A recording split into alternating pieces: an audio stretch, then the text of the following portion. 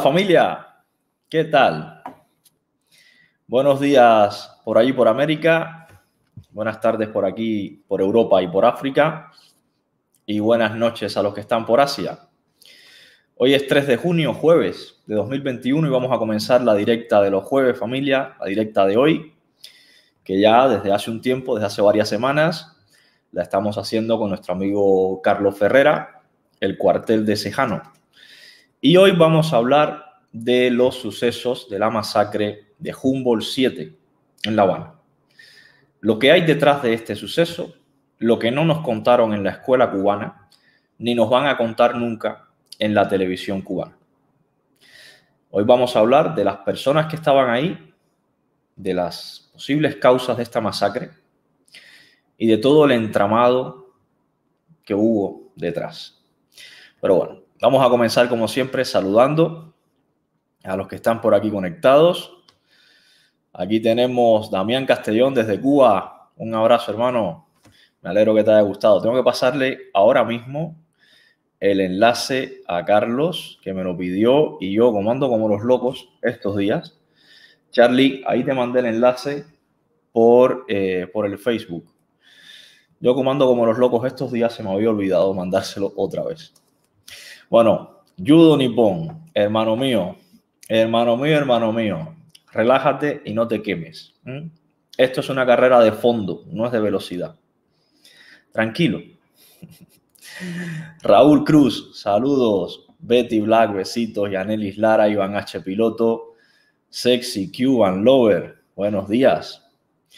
Cookie Luz, Marlon Espinosa, Francisco Opazo, Aníbal Cid, Esther Díaz, Ibrahim Gómez, Ademis Mateo, Yanelis Lara, Julio García, Dioris, Kenia Laferté, beso grandote, Goyo Suárez, Tai Machín, besitos, Cubana, preciosa, un beso, Janiel, Roger Chirino, Maggie Delgado, Roberto Antonio, abrazotes madrileño, ¿Quién más está por aquí? Roland Rivero, Chichita la cubana, José Félix Valle Aguilar, Aguilar, saludos. Alexei Alonso, Marta Soto Rodríguez, Javier Pérez, Helencita, un beso grande, princesa. Jack Man Sultán, la mostra. Bueno, hay gente por aquí ya. Se va a poner bueno esto hoy, Charlie. Se va a poner bueno, bueno esto hoy. Rosa, Rosae, Janet Abreu Pla. Bueno, familia, eh, antes de comenzar, algunos de ustedes me han preguntado que si yo iba a hacer esta semana algún vídeo eh, dando mi opinión sobre el conflicto Otaola-Eliezer, Eliezer-Otaola. Eh, yo ayer lo dije muy claro aquí en esta directa. Yo, tanto a Eliezer como a Taola, les tengo mucho cariño, mucho respeto, mucho aprecio y tenemos muchas diferencias entre nosotros. Y por sobre todas las cosas, eh, no me gusta echarle leña a ningún fuego, así que eh, no, no voy a hablar de lo que pasa entre otra, otra, Otaola y Eliezer o Eliezer y Otaola. Eh, no, aquí no vamos a escuchar nada de eso. Esto es lo único que tengo que decir. Dicho esto, eh, mañana, mañana, viernes, no voy a poder hacer directa familia porque voy a estar de viaje. Tengo un viaje ahí de trabajo y estaré a esta hora mañana, estaré bastante complicado en una reunión importante. Así que nos veremos pues durante el fin de semana, probablemente el sábado o el domingo. Y a lo mejor sí mañana, eh, quizás por la noche, cuando ya haya terminado la reunión, esté por el canal de Oscar, Oscar el, el All Hardcore, el Green que nos ha invitado, que, va a estar también la señora al canal de las emociones, y vamos a estar por allí, pues hablando un poco de, Cuba. Pero bueno, eso ya será eh, en la noche. A esta hora, por desgracia, mañana estaré eh, complicado, así que no voy a poder estar con ustedes. Perdónenme, pero créanme que es algo de causa mayor. Bueno, vamos por aquí ya. Eh, dice alguien aquí que ha impulsado una petición en contra del bloqueo. mm, cubano. no sé qué hablará cubano del bloqueo. Como yo no conozco ningún bloqueo en Cuba, pues no sé lo que estará hablando cubano. Eh, Charlie, si estamos listos, empezamos ya, hermano mío. hermano. Bueno, como te prometí, como te prometí, aquí está tu banner, ¿vale? A ver, anda. Bien. ¿Tú ves? Ya me, voy, ya me, ya me va gustando esto más. Ahí tienes el pues. enlace de tu blog, familia. Todo, eh, todos los contenidos que publica ah. Carlos Ferrera los publica en ese enlace que está ahí, el cuartel de sejano.blogspot.com.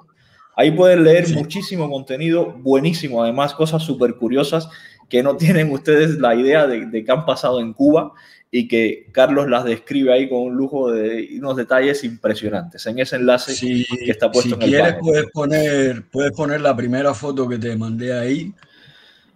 Voy a ponerla ahora mismo. Que, que, es, el, que es la foto para que la gente sepa más o menos qué apariencia tiene, tiene el canal. Espérate, que tengo, pues que, tengo que cerrar aquí unas cosas que, que está, hoy va Chucho de Chucho hablando por ahí y tengo que cerrar esto. A ver. Espérate un segundito. No te preocupes. Tenía muchas cosas abiertas Esto que está puesto aquí, familia, es un pantallazo del blog de, de Carlos Ferrera, el cuartel de Sejano, que de verdad se los recomiendo. En este caso, lo que está publicado aquí es de lo que vamos a hablar hoy, que es de los mártires de Humboldt 7, y, de las causas que no nos han contado. ¿Ya ha cerrado, Charlie? Sí. Eh, yo quiero aclarar antes de empezar. Sí, ya, he cerrado todo. No, eh, quiero aclarar antes de empezar que, que, a ver, esto es un trabajo que a mí me lleva muchos años hacer y las urgencias de publicarlo en su día. Eh, bueno, ya explico también en, esa, en esa crónica que, que, es un texto interactivo, porque del caso Humboldt 7 eh, no, hay, no hay demasiadas referencias, o sea, no ha habido durante muchos años demasiados datos y de pronto han empezado a revelarse cosas y entonces esta historia va cambiando. Yo le recomiendo siempre a mis lectores que cada vez que pasen unos meses vuelvan al texto y lo vuelvan a leer. Eh, hay un montón de pifias, quien escribe mucho se equivocan mucho y seguramente pues hay 10 o 12 fechas o nombres o eso que están equivocados, pero son errores de, de, de, mecanografía, básicamente, fallos mentales, pero, pero que se lo pueden, lo pueden considerar erratas, la gente me lo ha señalado en los comentarios, así que tómenselo como, como la fe de ratas del texto. Eh, a ver, esta historia me, gustó mucho que tú me sugirieras que lo hiciera. Yo la tenía preparada para, mi canal, para mi nuevo canal, pero eh, con muchísimo gusto la, comparto contigo porque sé que la gente que viene a, esta, a este canal tuyo le interesan eh, estas cosas y, y les da valor. Y como te propuse, como es un tema que es bastante denso, lo vamos a dividir a la mitad. Lo dividimos en dos, en dos programas. Lo dividimos en dos. Y, bueno, mira, eh, vamos a empezar el tema ya. A ver, eh, esta, esta, historia eh, la empecé a escribir por una inquietud que yo tenía desde pequeño. Yo nací en el barrio de, de Humboldt 7.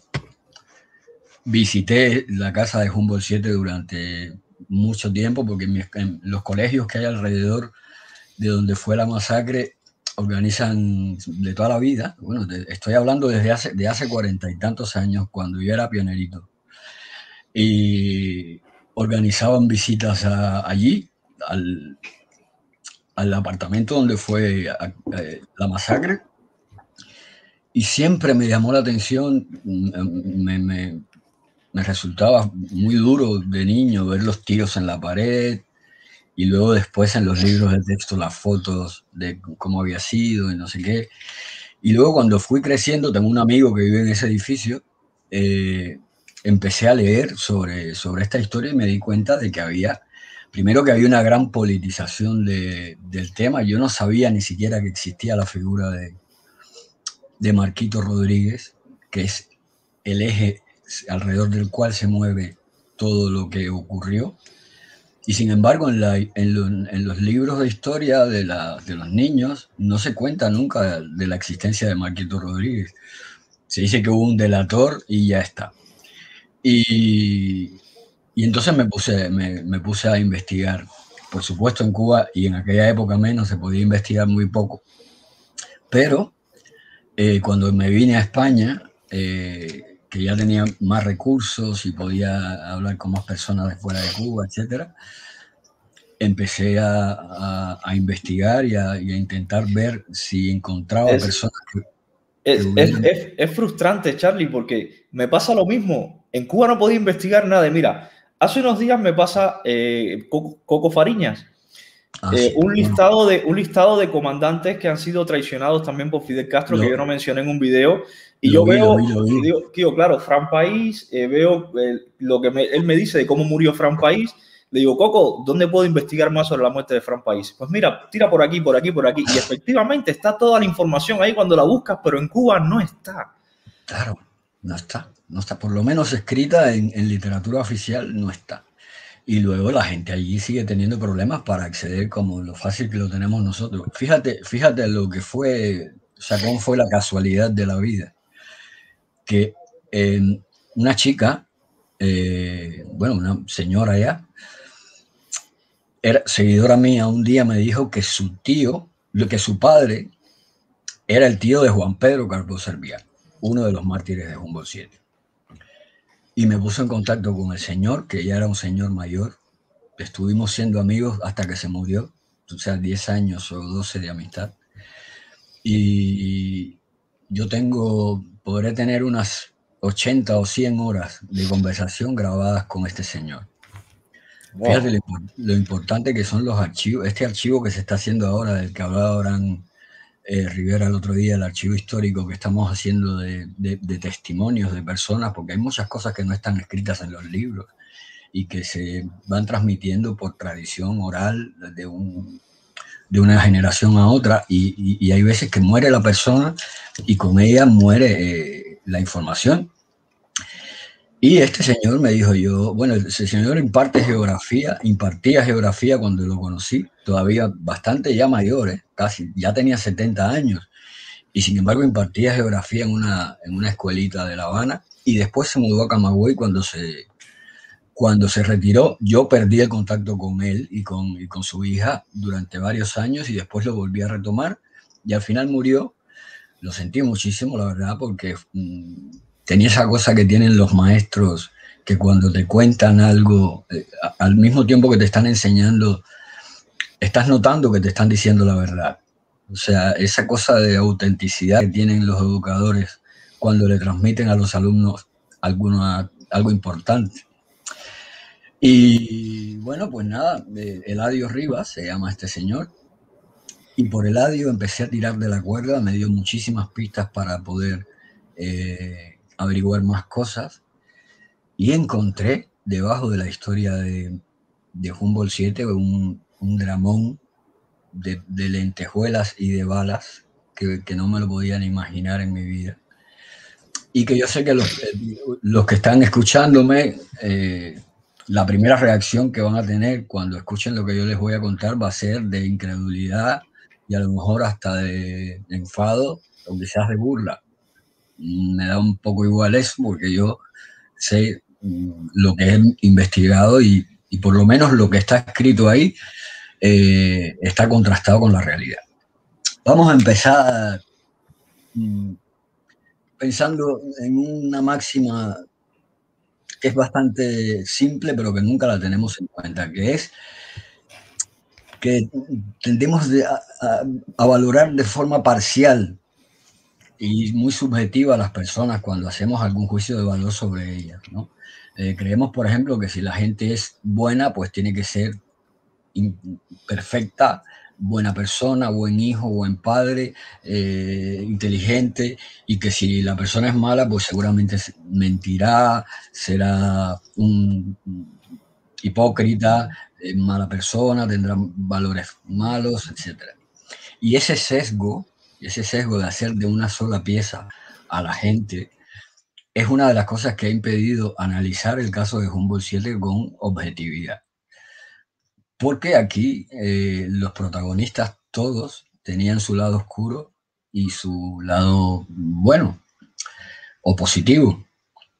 Y entonces yo partí de la premisa de no dejarme llevar ni por el discurso de, de, una orilla, ni por el de la otra, ni si el tipo era un batistiano, o mira, hasta con batistianos soldados batistianos que participaron en aquella redada que terminó con la muerte de los cuatro mártires de Humboldt 7, me los encontré con ochenta y pico de años viviendo en, una playita de Miami, retirados, y, alguno pudo darme algún testimonio. Fíjense cómo es la vida. Bueno, partiendo de eso, eh, he tenido que sintetizar muchísimo en lo que les voy a contar aún así, ya les digo, va a dar para dos partes, pero eh, pueden, lo que, lo que, las partes que les, que les falten por completar las pueden buscar perfectamente en este enlace que les he dado.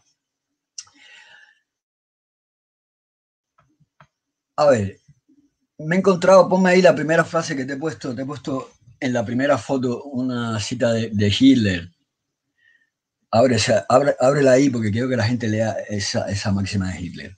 Me he encontrado por lo menos 30 o 40 frases de fascistas eh, alemanes y italianos eh, que pegan perfectamente con, con esta historia. Eh, y esto de que utiliza la emoción para la muchedumbre y, reserva la razón para unos pocos, pues esta es una máxima que, ha llevado Fidel al pie de la letra, Fidel Castro la siguió al pie de la letra como tantas otras sentencias hitlerianas fruto de la cabeza de Hitler o, de cualquiera de sus lugartenientes, como Goebbels, por ejemplo, que era el ministro de propaganda y de ilustración pública. Y es de Goebbels esta frase que les voy a leer. No sería imposible probar que un cuadrado es de hecho un círculo con la repetición continuada y una comprensión psicológica de las personas interesadas. Son meras palabras y las palabras se pueden moldear hasta vestir las ideas y enmascararlas. Eso lo, dijo Joseph Goebbels. Y es lo que hicieron con la historia de Humboldt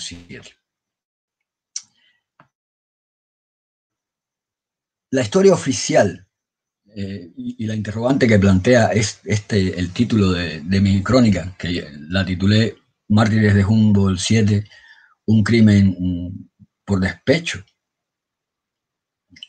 Y es que es un drama de amor lo que, y de desamor lo que subyace en el fondo de esta mm, contienda que parece toda patriótica y toda llena de, heroísmo político y sin embargo quien, quien lo que se movía por debajo de todo esto y, que movió en gran parte lo que hizo cada uno de los actores de este dramón fueron los sentimientos humanos. Y vamos a acercarnos a ellos hoy a ver si logro que ustedes entiendan lo que yo a mí me costó tanto trabajo entender. Eh, eh, la cosa empieza, como todo el mundo sabe, mm, después del fallido ataque a Radio Reloj, el simultáneo a Radio Reloj, y, al Palacio Presidencial por un grupo de estudiantes del, eh, del directorio revolucionario, con algunos miembros del Partido Auténtico y otros partidos, y eh, ya saben todo el mundo cómo terminó esto, la mayoría de ustedes saben que fue, bueno, pues fracasó el, el asalto a Palacio, murieron muchos miembros del directorio, incluido eh, Manzanita, José Antonio Echeverría. él pretendía justiciar a Batista, después repartir armas en la universidad. Es una historia que merece ser contada aparte porque también nos mintieron mucho respecto a lo que sucedió allí. Eh, la idea de atacar Palacio, y es lo primero que, me gustaría separarme un poquito de lo que voy a contar, pero que es interesante que lo sepamos, y ponme las fotos que vienen ahora poquito a poco una detrás de otra. No fue ni de José Antonio Echeverría, ni de Faure Chomón, como alguna vez dijo, le oí decir en un discurso del, del, 8, del 13 de marzo, esos que siempre estaban inaugurando, o sea, celebrando cada año eh, esta gesta y él se había cogido para él puesto la, la, cosa heroica de que había sido el líder de la historia. Pues no. Y de Gutiérrez Menudo. Fue de Menelao Mora. Y me parece que es la foto que viene después. Bueno, ya mm, esto, sí lo era de lo que estaba hablando. Es la muerte de Manzanita, sí. Ahora vienen unas cuantas fotos del asalto Palacio y Radio Reloj. La última de ellas es interesante porque no creo que esté muy difundida y es, la saqué de una bohemia el otro día que está muy poco manoseada, que es un, un miembro de... Es, es, esta, ¿no? Esta que acabo de pasar. La anterior, la anterior, esa misma. Esta que es un, un, locutor de Radio Reloj de, tirado detrás de la mesa. La anterior que hay son los disparos en la cabina de, sonido, que es la que más se ha visto. Bueno, Menelao Mora es el que viene ahora. Y me quiero detener en él tres minutos, en esta foto del sello conmemorativo que viene atrás, que es de Menelao.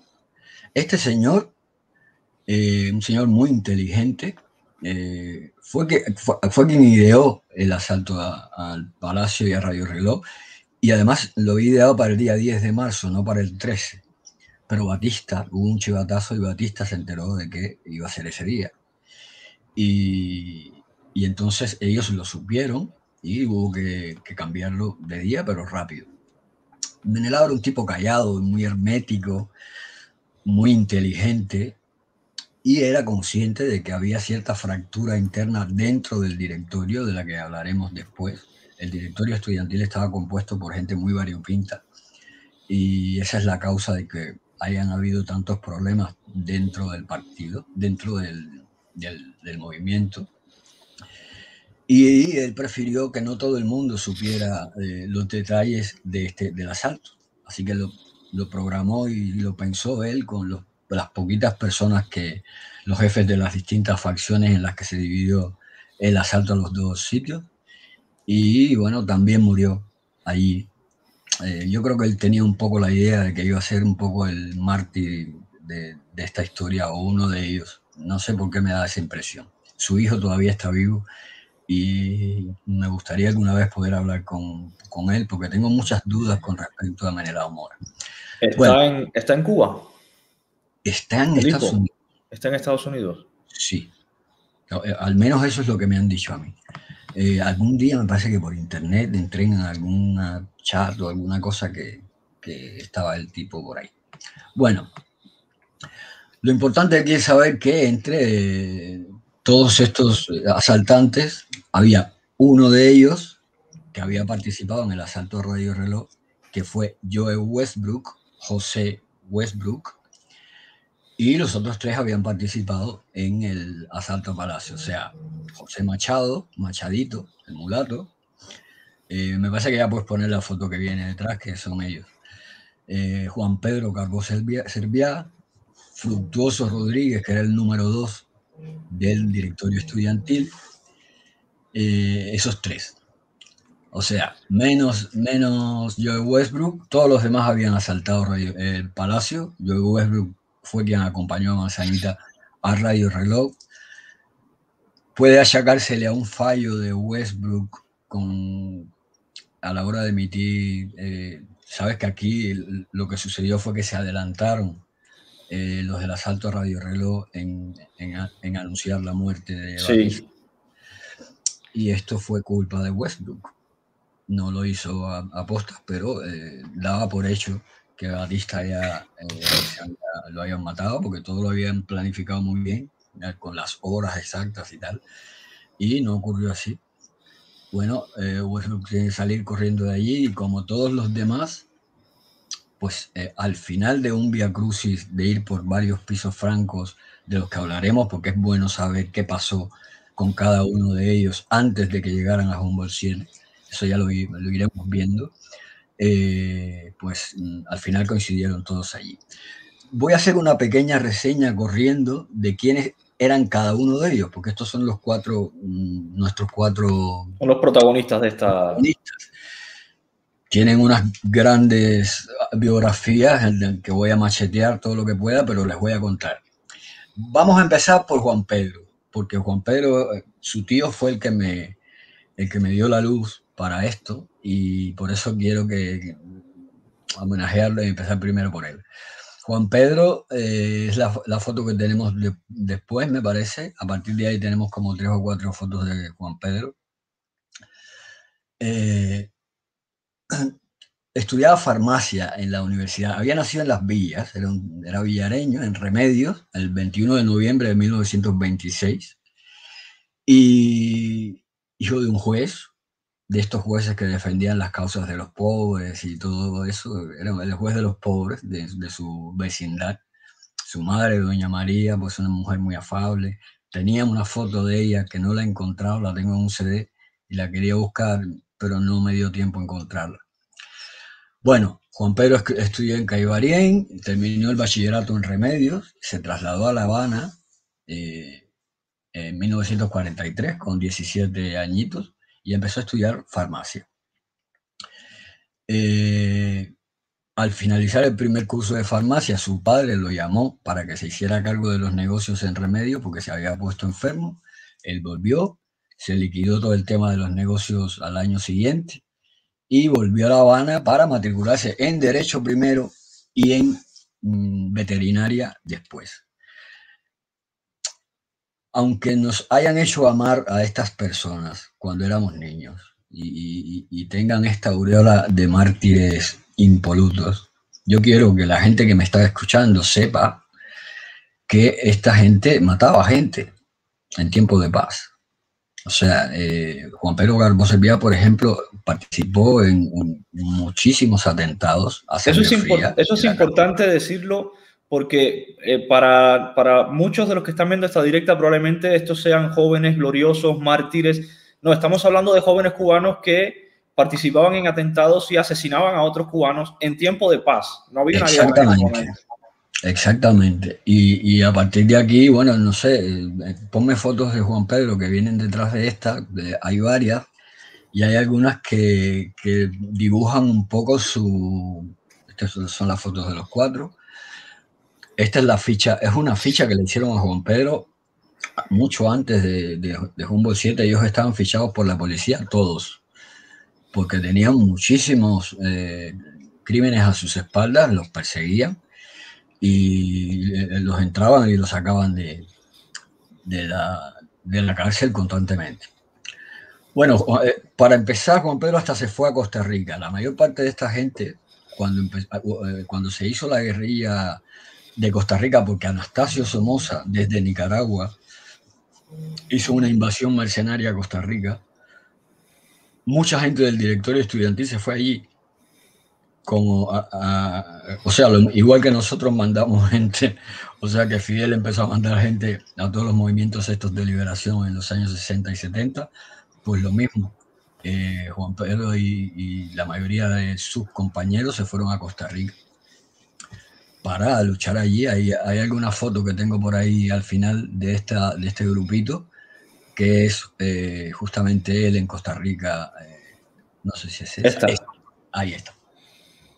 Bueno, eh, estuvo en todos los fregados. Voy a ir rápido por aquí porque se opuso al golpe de Batista. Estuvo en la protesta del estadio latinoamericano. Por ahí está la foto. Miren, es que viene también y a cuento por esto de el, cuando tiraron las octavillas y salieron al terreno. Ahí, esto, esto, mismo, que esto era una heroicidad y tú fíjate que cómo, cómo ha tratado el Granma de Juventud Rebelde a la chica esta que se metió en el campo eh, eh, aquí, en aquí en.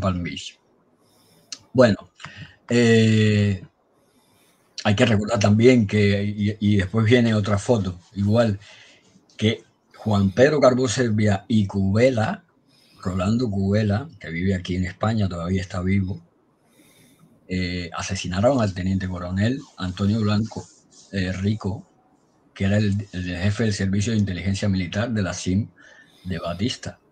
Y fueron al, al Cabaret Montmartre y lo mataron.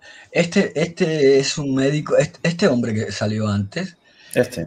Sí. Eh, la historia es que cuando ocurre el asalto, a, este, a, Juan Pedro se lo llevan a, a, la casa de socorro y de ahí al hospital de emergencia. Por eso puse una foto del hospital de emergencia por ahí, antes que esta, que era como estaba el hospital de emergencia en aquella época. Y eh, este médico, este señor que está ahí, se llama Eliodoro Martínez, eh, fue el médico que lo atendió. Él entró con un nombre falso para que no lo fichara la policía cuando viniera a revisar, porque se metieron, la policía se fue a todos los hospitales para ver todas las personas que habían pedido eh, auxilio médico por, después de la balacera. Se puso Juan Pfeiffer Sosa, era el, nombre que tenía Juan Pedro al entrar al hospital.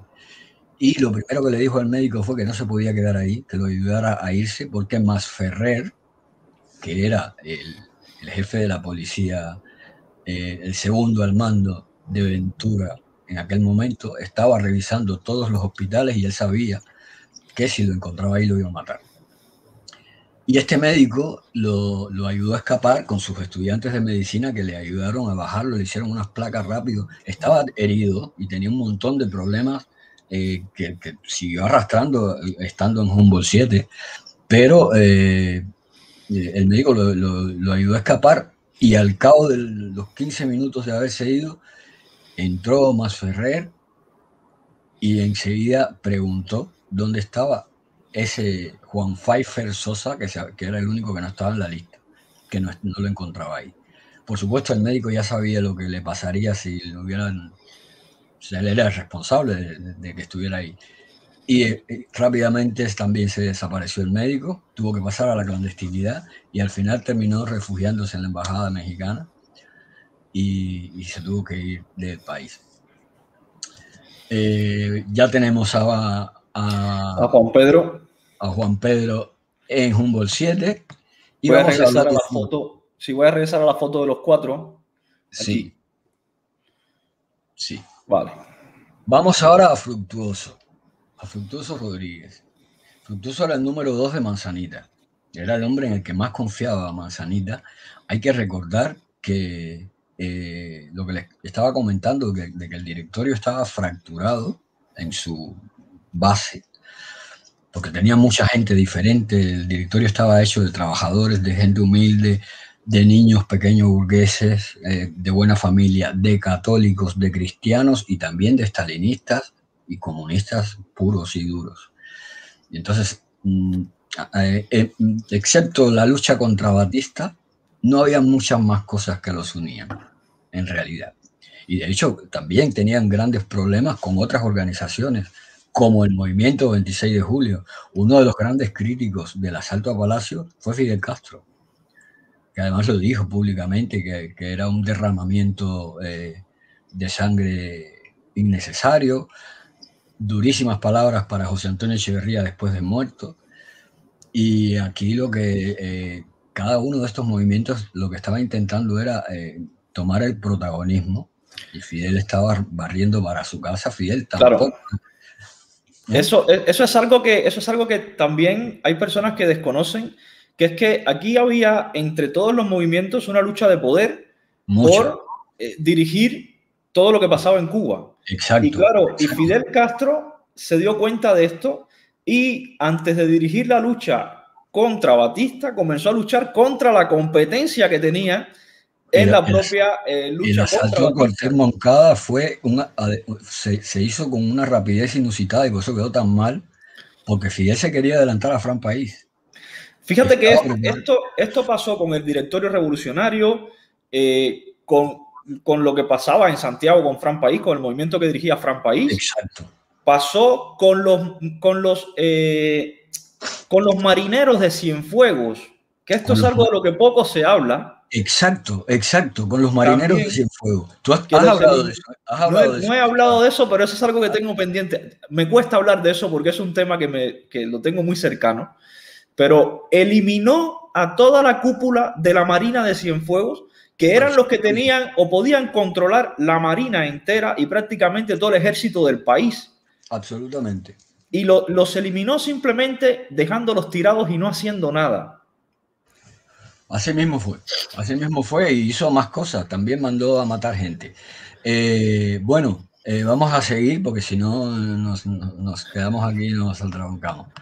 Eh, hay por ahí, me parece que después de, la foto de bueno, tengo fotos de Carbó Servía al final, eh, que está en el busto a hay, hay, una foto de, que están en, el busto a porque esta historia del busto a Mella fue que se profanó, eh, alguien profanó la, la estatua de Mella y los estudiantes hicieron una, una este es Antonio Blanco Rico, el que Este es Antonio Blanco Rico, el jefe, el director de la CIM, que murió en el cabaret Montmartre a manos de este señor, Cuela, que vive aquí en España y lo he visto varias veces, viejito ya. Y, también, pues, eh, Calvo Servia. Ahora vamos a hablar de, de este hombre fructuoso. Y este hombre es eh, el paradigma de lo que no, creemos que fue un gran hombre. De hecho, tenía fama de ser, muy buena persona. Era muy querido por sus profesores, era un tipo muy inteligente, callado pero simpático, con un gran sentido del humor, como el guardaespaldas de Manzanita, y sobre todo tenía unos puños de acero, o sea, siempre se peleaba con la policía. Hay una foto que no sé si incluí por ahí, me parece que sí, que donde están todos acabados de salir de una refriega con la policía en el juzgado y le hacen la foto y están todos con el vaso en cabestrillo, heridos, no sé qué, y él está impoluto, peinadito, de lo más bien. Era un tipo alto, medía más de seis pies. Eh, siempre le está, que está aquí. No, no, esta, no esta, es, una detención que está, fíjate, también está el fructuoso ahí con ellos. Eh, no, no, no, no, no sé si la tengo ahora. no, no la veo, no la veo. No la veo está al final, igual está al final, igual la dejé al final que he dejado así fotos para ver. Bueno, le gustaba mucho aislarse de la gente, eh, se le veía mucho en el comedor estudiantil leyendo todos los periódicos del día porque eh, las distintas facciones universitarias de la isla entera se mandaban mensajes en claves por los periódicos, por la sección de anuncios de los periódicos. Y tenía incluso una clave que había inventado él para comunicarse con palabras concretas, números, era, era una cosa casi, casi como de espionaje, de película de espionaje. Y él siempre estaba con varios periódicos del día solo sentado en el comedor leyendo y tal. Mensajes cifrados, que era lo que le decía. Bueno, eh, hijo ejemplar, se casó con, Marta Jiménez, eh, esposa, esposo ejemplar, eh, muy, muy tacaño según cuentan. De hecho, cuando se firmó el Pacto de México, que, fue Manzanita, Fructuoso, y, también fue Carbó y Joe Westbrook a la firma del pacto en México, cuando regresaron no le trajo nada a Marta, de México, que Marta estaba embarazada de Osvaldito Fructuoso Rodríguez, del que hablaremos también en esta serie. Eh, bueno, no era mujeriego, era un tipo de su casa, cristiano. Era un tipo valiente, evidentemente. No, no confesaba un secreto ni bajo tortura. Era de estos hombres íntegros. Y también podía cargar sobre sus hombros a un compañero, como pasó varias veces en una refriega que estuviera herido, se lo cargaba al hombro debajo de los tiros y lo sacaba. Por lo tanto, era muy valioso para el, para el, para el directorio y para Manzanita. Y también como un cortafuegos con otras facciones que habían dentro del directorio, entre ellas la que lideraba Faure Chomón. Faure Chomón era el número 3 del directorio, era el jefe de acción y sabotaje.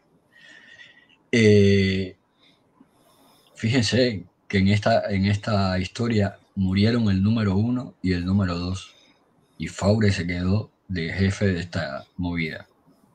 Eso tenganlo en cuenta para el futuro.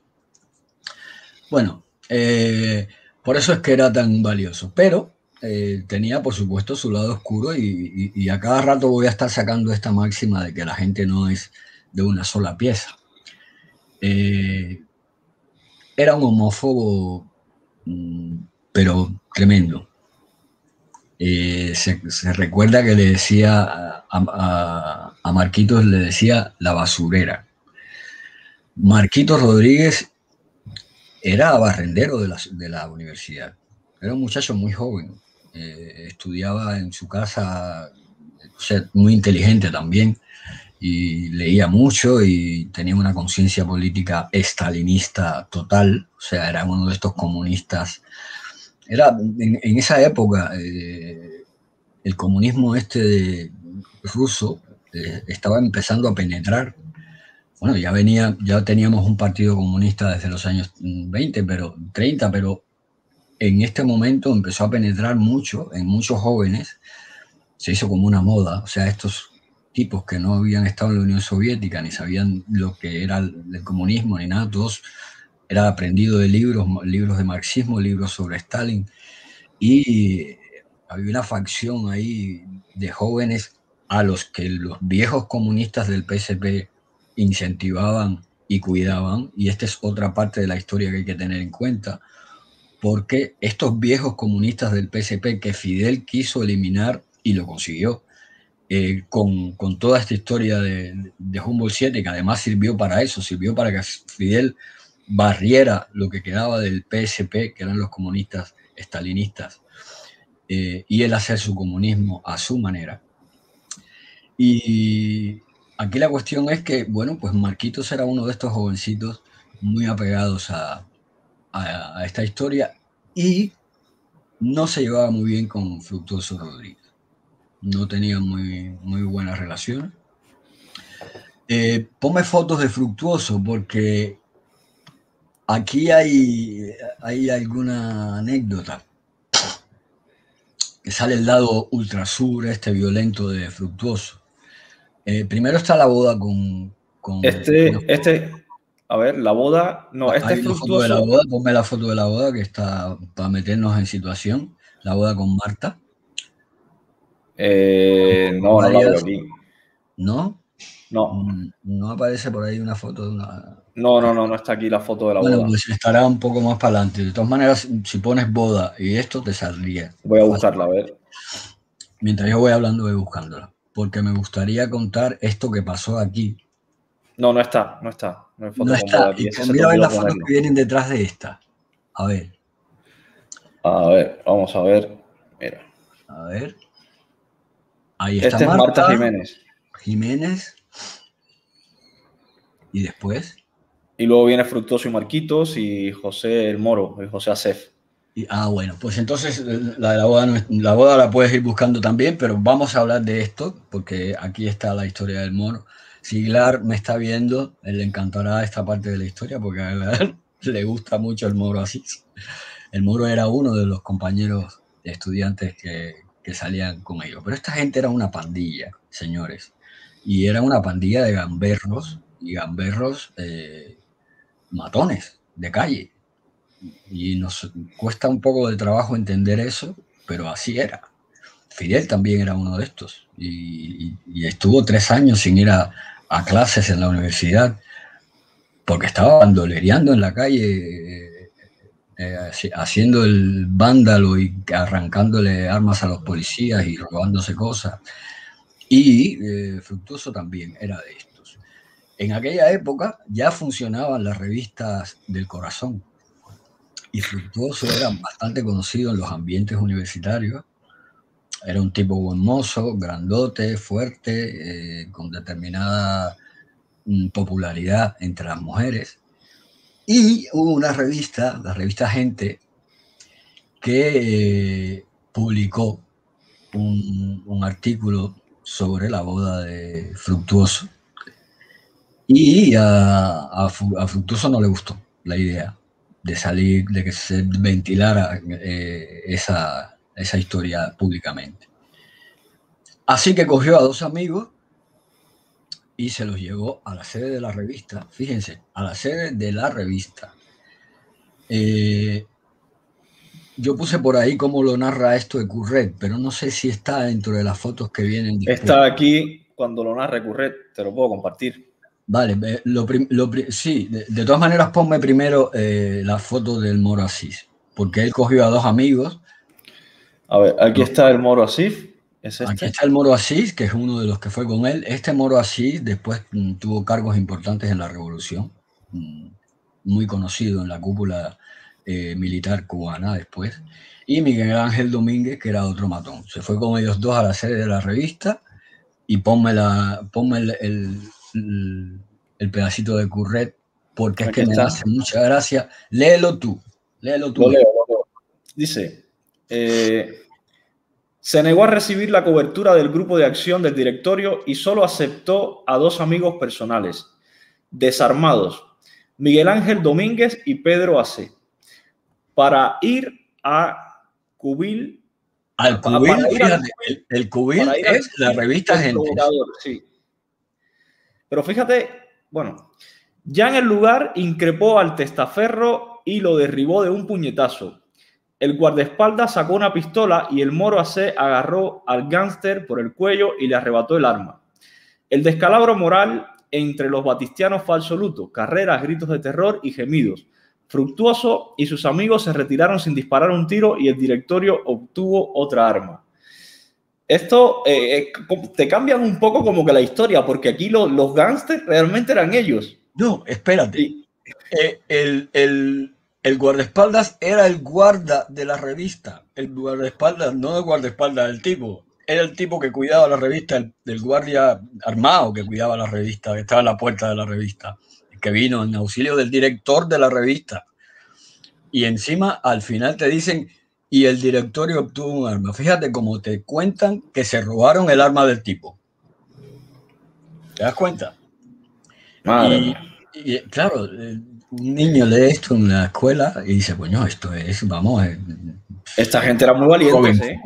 es Robin Hood contra los malos. Y bueno, pues todo en ese plan.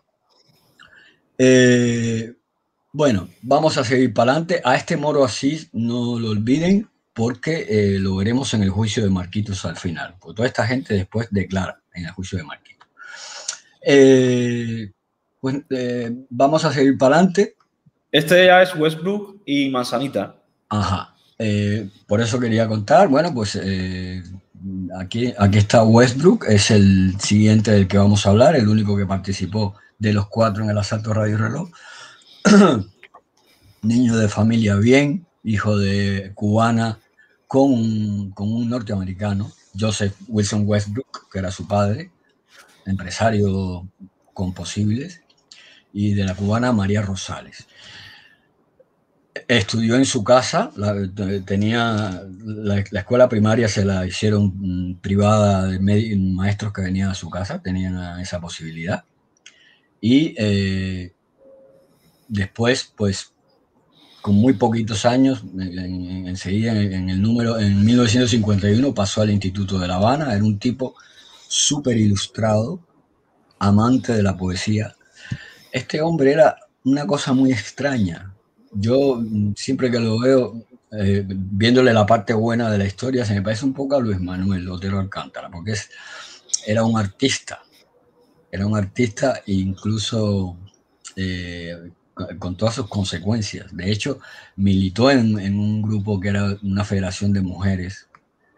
Eh, y sus amigos se reían de él por esta historia, pero él tenía esta sensibilidad especial para cuando muere le ponen el apóstol joven. La revolución lo bautizó como el apóstol joven, porque escribía poesía y participaba en todos los grupos de teatro de la universidad. Su novia, que se, llama, se llamaba Disis Gira, eh, era, era dramaturga, hay varios libros de Dizzy Gira publicados, ya los veremos después. En fin, eh, era un tipo que, pero bueno, también mm, sacaba las pistolas en cualquier lugar. Y de hecho, de todos ellos, me parece que el que más eventos bélicos reunía Era él. él. Él, eh, justamente por la capacidad que tenía para comunicarse con la juventud y tal, eh, se encargaba en el directorio de la atención a la educación media. Fíjense cómo estos grupos eh, fichaban gente entre los jóvenes de esta manera, o sea, tenían un departamento específicamente para ir captando las voluntades de los muchachos jóvenes que estudiaban en, el instituto en los primeros años, para irlos alistando a su, a su grupo. Y así cogieron a mucha gente. Bueno, eh, me, me salto toda la actividad subversiva de, de Joe Westbrook porque es súper larga. Era de Ah, gatillo fácil. Sí, sí, hago hincapié. Fíjate qué carita tiene que tú dices, este tipo no rompe. Sí, no, no mata una mosca, ¿no? Vamos, eh, ya lo verás por ahí. Después hay otra foto que parece así como, como de los gángsters de las películas de los años 40 mm, del cine negro. Míralo aquí, que léeme el pie de foto de esta foto. Eh, no, de esta que está puesta. Sí, No, no, no lo veo, Charlie. no lo tienes, no, no no. tienes un pie de foto. Está cortada, no, está cortada, está cortada. Ah, bueno, pues eh, aquí está con un grupo de, de- de gente del directorio también. Creo, creo que más adelante sí está con el pie de foto, ¿eh? Ah, Luego después la leemos. sí. Mira, esta es la que te decía yo que era como una película del cine negro, fíjate. Sí. Eh, eh, ¿Sabes? Y él está ahí en medio, pero fíjate, la gente a su alrededor le rendían bastante pleitesía con los jovencitos y lo descojonado que estaba. Pues así. Bueno, quiero hacer, eh, quiero hacer, mira, esto es en México, cuando fueron a firmar el pacto de México con Fidel.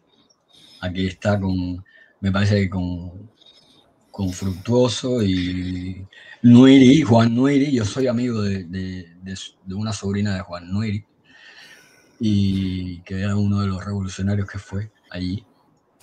Ah, al, al Frente Cívico de Mujeres Martianas, era el grupo de, de mujeres donde, donde se apuntó Joe Westbrook y por eso se granjeó las bromas de sus compañeros. Bueno, eh, este hombre hizo mm, sabotajes tremendos. Hay, un, hay, un, hay uno muy sonado que fue en la carretera central eh, para detener el tráfico en un momento dado. Esto es, una, esto es una entrevista que se hizo después de muerto, se le hizo a su madre. Y él vol- voló un tramo de la carretera central, él solo, con explosivos. Y bueno, cortó el fluido eléctrico de un montón de lugares para, para hacer huelgas y puso bombas en un montón de sitios. O sea que no se dejen llevar por la carita de, niño bueno. Eh, bueno, aquí hay una historia última que me dejo en el bolsillo de él. Bueno, esto ah, es que él fue el que escribió la locución eh, que leyó José Antonio Echeverría.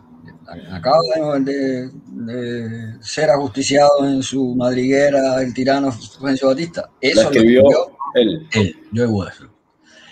Y da- también redactó, redactó, la escribía muy bien.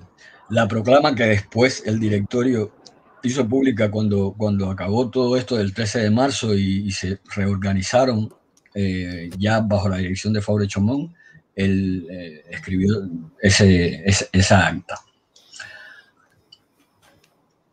Es muy importante que recuerden esto que les voy a decir ahora, porque este hombre es uno de los principales actores de la historia que les voy a empezar a contar ahora, que recién se las voy a empezar a contar ahora. La noche del 19 de abril de 1957, eh, este hombre, después del asalto a Palacio y, y de rodar por varios sitios, se fue a la casa de la madre de su novia, la madre de su novia, mujer de la que hablaremos después, eh, con valores cristianos muy de estos, que durante todo el noviazgo que habían tenido no había permitido que tuvieran relaciones sexuales en su casa. Y imagínate, esconder a este tipo, pues estuvo escondido 24 horas allí y la novia le dijo, tienes que irte porque mamá no quiere que estés aquí. Y entonces es que se va al edificio de Humboldt 7. Y allí llega alrededor de la, de la una de la, de la mañana de, de ese día. Vámonos para el próximo, que es Machadito, el único mulato de la historia. Aquí está Machadito. Ahí lo tenemos. Bueno, pues Machadito, eh, manzanillero, humilde, muy humilde, súper humilde, también muy echadito para adelante.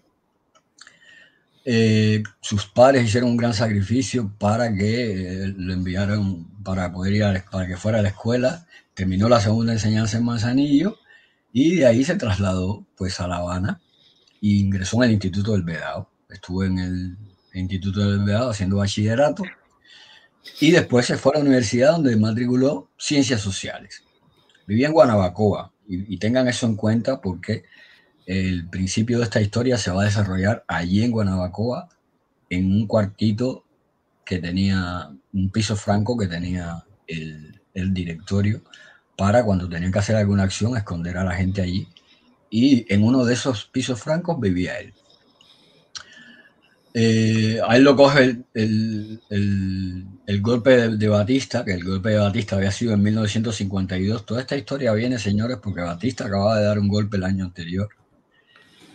Y, o sea, el año anterior, en 1952, esto ocurrió en 1957, por supuesto. Pero eh, ellos estaban intentando derrocar a Batista de cualquier manera y se unían con todos los partidos, con el auténtico, con, los movimientos obreros, con Lázaro Peña, todo lo que hubiera para tirar a Batista del poder, estaba bien. Y bueno, pues este estuvo en un montón de manifestaciones contra Batista. Ponme ahí algunas fotos, porque hay una que eh, me parece que aquí sí sale la que está junto al busto. A, a aquí ver. está con Manzanita. Ahí está con Manzanita. Esto es lo que hay detrás de Manzanita es el busto de Mella que fue que fue violado. ¿Puedes, no se puede abrir más, espera. No se puede abrir más, ¿no? Sí, sí, sí, puedo ampliarla más. Ahí está. Eh, bueno, me parece que el hombre que está con gafas a la izquierda es Camilo Cienfuegos. Pero lo vamos a ver sin gafas ahora. Mm, me parece que tengo otra foto de, de esa, detrás de esta. Fíjense, Camilo ahí intentando uh, salir. ¿Esta? A ver, no, no, no, no. Otra del busto, no hay otra del busto. Si no, si no es que No. me la he dejado para el final. Te la has dejado. Bueno, pues vamos, vamos a ver a, a Machadito en diferentes momentos. Esta no es. Seguimos para adelante, pon, pon fotos mientras yo voy hablando. Aquí está, parece que en un juicio. Este. Sí, aquí sí, aquí está en, en un juicio, no, sí, se había presentado al juzgado, siempre estaban, todos estaban siempre metidos en la cárcel. O sea, cada tres minutos que había alguna una refriega, pues ahí estaban ellos. Eh, la policía se los llevaba y les, les, tenían que levantar un acta, hacerle un juicio, tuvieron un montón de juicios. Ya de aquí para adelante las fotos que vienen son las de, Mar, las de Marquito. Aquí empiezan las de Marquito. Bueno, pues sí. entonces vamos a terminar. Eh, este hombre era uno de los, de los soldados rasos del directorio revolucionario, pero que le tenían gran confianza porque era un tipo que decía sí a todo. Manzanita, fíjate que en casi todas las fotos que hay del directorio, él está al lado de, de José Antonio Echeverría. Le tenían una gran confianza. Y fue eh, durante el asalto a Palacio, eh, Juan Pedro Carbó Serviá cayó herido dentro del palacio y este hombre debajo de la balacera ya estaba fuera del palacio y volvió atrás para rescatar a, a, Juan Pedro, se lo cargó en hombros y lo sacó de allí. Esta historia me la contó el tío de Juan Pedro Carbó Serviá, que me dijo que le tenía un especial eh, afecto a, a Machadito, por eso que había hecho por su tío. Y, a Machad y, a, y, lo hieren a Machadito en esta historia, en el muslo. Y cuando él lleva a Juan Pedro Calvo Servía para, la, para la, la, casa de socorro, que ya les conté lo que pasó después, que lo llevaron a emergencia y tal, él no se quedó en el hospital y se fue y se escondió en un solar yermo antes de llegar a Humboldt 7 y perdió muchísima sangre en medio. Y, y, y, fue una de las causas que hizo que no pudiera reaccionar muy rápidamente cuando, cuando ocurrió la masacre. Bueno, vamos a seguir hasta, aquí, hasta aquí tenemos ya a los cuatro jóvenes. Ahí tenemos los cuatro y vamos a entrar directamente en los hechos. Eran cuatro jóvenes, además bastante variopintos, porque había desde, desde un intelectual que escribía bien. en, lo que, coincidían, en lo que coincidían los cuatro era, es que eran cuatro pistoleros, básicamente. Eran cuatro pistoleros. Cuatro que iban por ahí dándole tiros a todo el que. A todo el que apareciera por ahí. Y luego tenían sus peculiaridades cada uno que ya vamos a irlas viendo. Bueno, eh, a partir de aquí abundan las cábalas, es cuando empieza la revolución a montar el mito y las mentiras institucionales que después se trasladaron a los libros. Y, Estos muchachos participaron, bueno, menos uno de ellos, todos los demás en el ataque al palacio. palacio presidencial, menos Westbrook que estaba con Manzanita en el asalto radio. En Radio Reloj. Y cuando termina este, este día, que fue el 13 de marzo, el ataque a Palacio y el asalto a Radio Reloj, tienen que salir corriendo porque fracasan las dos acciones y ahí tienen que salir corriendo a, la desbandada por varios pisos. El, el directorio revolucionario tenía 13 pisos francos en La Habana. Eh, para esconderse después de muchas cosas, porque esta no es la primera acción que hicieron. Cada vez que ellos hacían alguna movida y había algún tiroteo, los estaba buscando la policía, se iban a algún piso franco de los que tenían alquilado. Y uno de estos pisos francos eh, eh, era el, el, el Humboldt 7. Y este piso franco, este piso franco, lo había alquilado Marquito Rodríguez. Aquí la historia empieza por aquí, tengan en cuenta todo lo que les voy a contar porque son un montón de detalles y los tienen que hilar con mucha finura para llegar a la Este, este es el que alquiló el piso. No, este es Marquitos Rodríguez. Sí, el que, el que alquiló el piso. De Ajá, el que alquiló el piso, no el dueño del piso, claro. El que alquiló el piso es Marquito, este. Marquito, Marquito es el que alquiló el piso, se lo alquila a un muchacho de familia bien, que también era revolucionario. Y eh, bueno, después si ponemos el, el vídeo en algún minuto así que podamos buscarlo, eh, podemos ver eh, cómo, Marta Jiménez habla de este muchacho. Bueno, sí.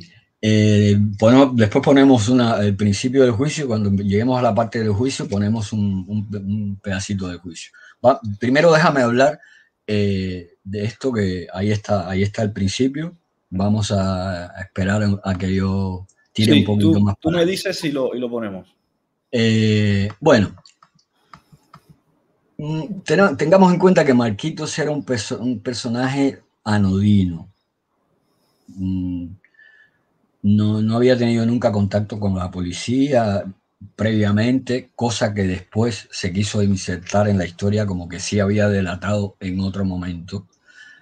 No era cierto eh, con la revolución, Fidel y Faure Chomón y toda esta gente que montaron un pollo alrededor de esta historia increíble, eh, lo metieron incluso dentro de, la, dentro de la acusación formal del juicio.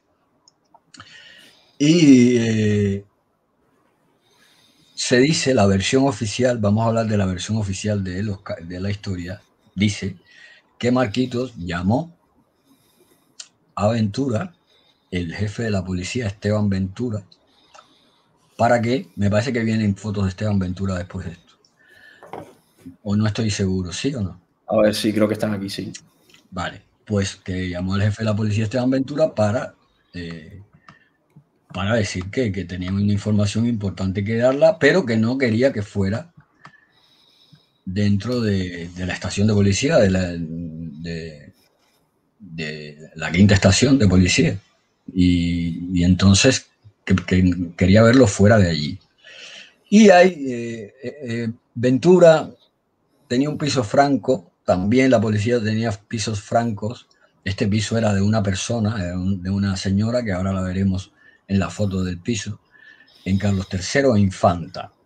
Tenía un apartamento allí y según la versión oficial que Ventura la desmiente en su biografía, después voy a contar eh, por qué yo pasé por encima de la biografía de Ventura y no le quise hacer mucho caso. Ventura es un tipo que mal que nos cueste aceptarlo, tenía una fama de mm, asesino brutal. Mm, era de estos hombres que no tenía ningún tipo de, reparos. En, bueno, ya vieron lo que hizo, mató a, estas cuatro gente Sí, sí, vamos, que no lo dudó. Que no, lo, dudó. un segundo y además ya tenía un Ventura tenía un largo historial como torturador. claro, Ventura ya eso te iba a decir, Ventura ya antes de matar a estos cuatro ya venía torturando y asesinando ya, ya unas torturando gente. muchísimo. Y los dejaba, tirados, los dejaba tirados por ahí por las cunetas y aparecían muertos y, y aparecían muertos de tu Ventura. Y evidentemente yo eh, le hice muy poco caso a la biografía de Ventura al principio de esta investigación. Me equivoqué en eso, pero lo admito, mm, me dejé llevar por el sesgo este de los malos, de que los malos siempre mienten y los buenos dicen la verdad. Y eh, pues el responsable de la delación, eh, tenemos que tener en cuenta que Ventura no conocía a Marquitos. Y de hecho tampoco tenía por qué protegerlo. Marquito era homosexual, también tenía muchos prejuicios contra los homosexuales. O sea, no tenía por qué proteger a Marquitos inventándose que no había sido Marquitos el delator. Y... Es decir, Ventura, Ventura en su biografía niega que Marquitos sea el que delató a los de Humboldt. Ventura en su biografía dice que Faure Chomón fue quien acudió a la quinta estación de policía a delatar a sus compañeros. Faure Chomón. Desde el principio, lo dijo Ventura.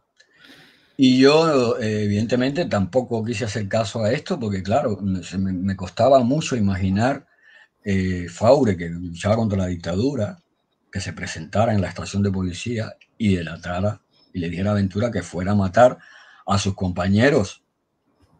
Y además ahí estaba el número uno y el número dos. El número uno ya había muerto, que era Manzanita, pero el número dos era Faure, eh, era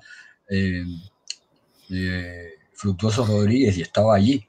Hombre, y siguiendo la lógica, siguiendo la lógica de lo que quería hacer Fidel Castro, eh, perfectamente. Claro, claro, pero yo no me di cuenta de eso en ese momento y tampoco quise. Además, la forma en que cuenta, ya llegaremos a ese punto también, la forma en que Faure cuenta cómo fue la delación da un poco de risa, porque acude al, subterfugio este en el libro de dramatizar eh, el, momento y los hechos y cómo vino y lo que dijo uno y lo que dijo otro. Y la verdad que está hecho un, cogido un poco por los pelos, está escrito un poco que parece una comedia de situación en vez de, de la realidad, pero resulta que eso fue la realidad. Pero vamos a llegar allí. Todavía eh, tenemos que seguir. No estoy viendo los, los comentarios del chat para no... Bueno, no, no te preocupes por los comentarios. Hay un montón de gente, ¿no? Que a lo mejor quieren hacer alguna pregunta o algo, pero no me quiero desconcentrar. No, no, de momento lo que hay son opiniones que, por ejemplo, aquí hay una opinión de, de, Julio Soto que dice que Ventura no era un asesino, que era un patriota, que lo que hay es un mito creado por Fidel Castro sobre Ventura. No, este no, ya me gustaría que fuera así. Eh, sí, ojalá, pero no. Eh, Ventura, este eh, al, frente del cuerpo militar que tenía, se asesinaron y se torturaron a muchísimas personas. Eh, eso, es un hecho. Claro, para nosotros tener siempre la razón, eh, tenemos que aceptar que las cosas que no nos convienen y que no nos gustan, que hayan pasado, eh, las, que hayan, las que han pasado y son ciertas, son ciertas. A mí me encantaría decir aquí que Ventura era un angelito de Dios, pero no no era un de Dios, como no lo fue Masferrer y como no lo fueron un montón de jefes de policía no, no, de fueron, de gobierno republicano. No fueron los 20.000 asesinados de Bohemia, Exacto, pero, fueron sí fueron pero su, su, sus cadáveres en el armario tenían eh, muchos de ellos. Yo tengo bastante familia y amigos que tuvieron familiares que murieron en las manos de Ventura. O sea que ahí sí que no hay ninguna discusión. Entonces, eh, claro, después el mito se afianza. Si, si, has matado a mucha gente, pues entonces eres súper más asesino que antes. Y a mí ese, ese sesgo eh, fue el que me hizo no hacerle mucho caso a la biografía de Ventura, a la, a las memorias de Ventura. Me parece que tenemos por ahí varias fotos de Ventura y al final el libro que publicó en Miami Ventura explicando lo que había sucedido. No sé si. aquí, está, aquí está, el libro, sí, sí, ahora te voy a poner la. Aquí están fotos en, en, su, en su. Este, este, esto, esto, este, este es el piso. De, este es el piso franco, donde se hace la delación. De Carlos III, el que, el, el que vivió en La Habana, se podrá acordar quizás de este edificio. Ahí, lo, ahí hay tres fotos del, del, del, piso, a ese era el piso, y aquí está la señora dueña del piso que lo prestaba para, para estas cuestiones mm, con la policía. Había mucho contubernio con la policía y esta es la estación, la quinta estación de policía, donde radicaba Ventura. Y este, es el, libro que escribió Ventura cuando se fue de Cuba y, contó las cosas que, que después, en su día, cuando se publicó este libro, ni siquiera sus, correligionarios de causa le, le, hicieron mucho caso, porque, bueno, miente, miente, miente, y, al final, pues viene el lobo y no te creen.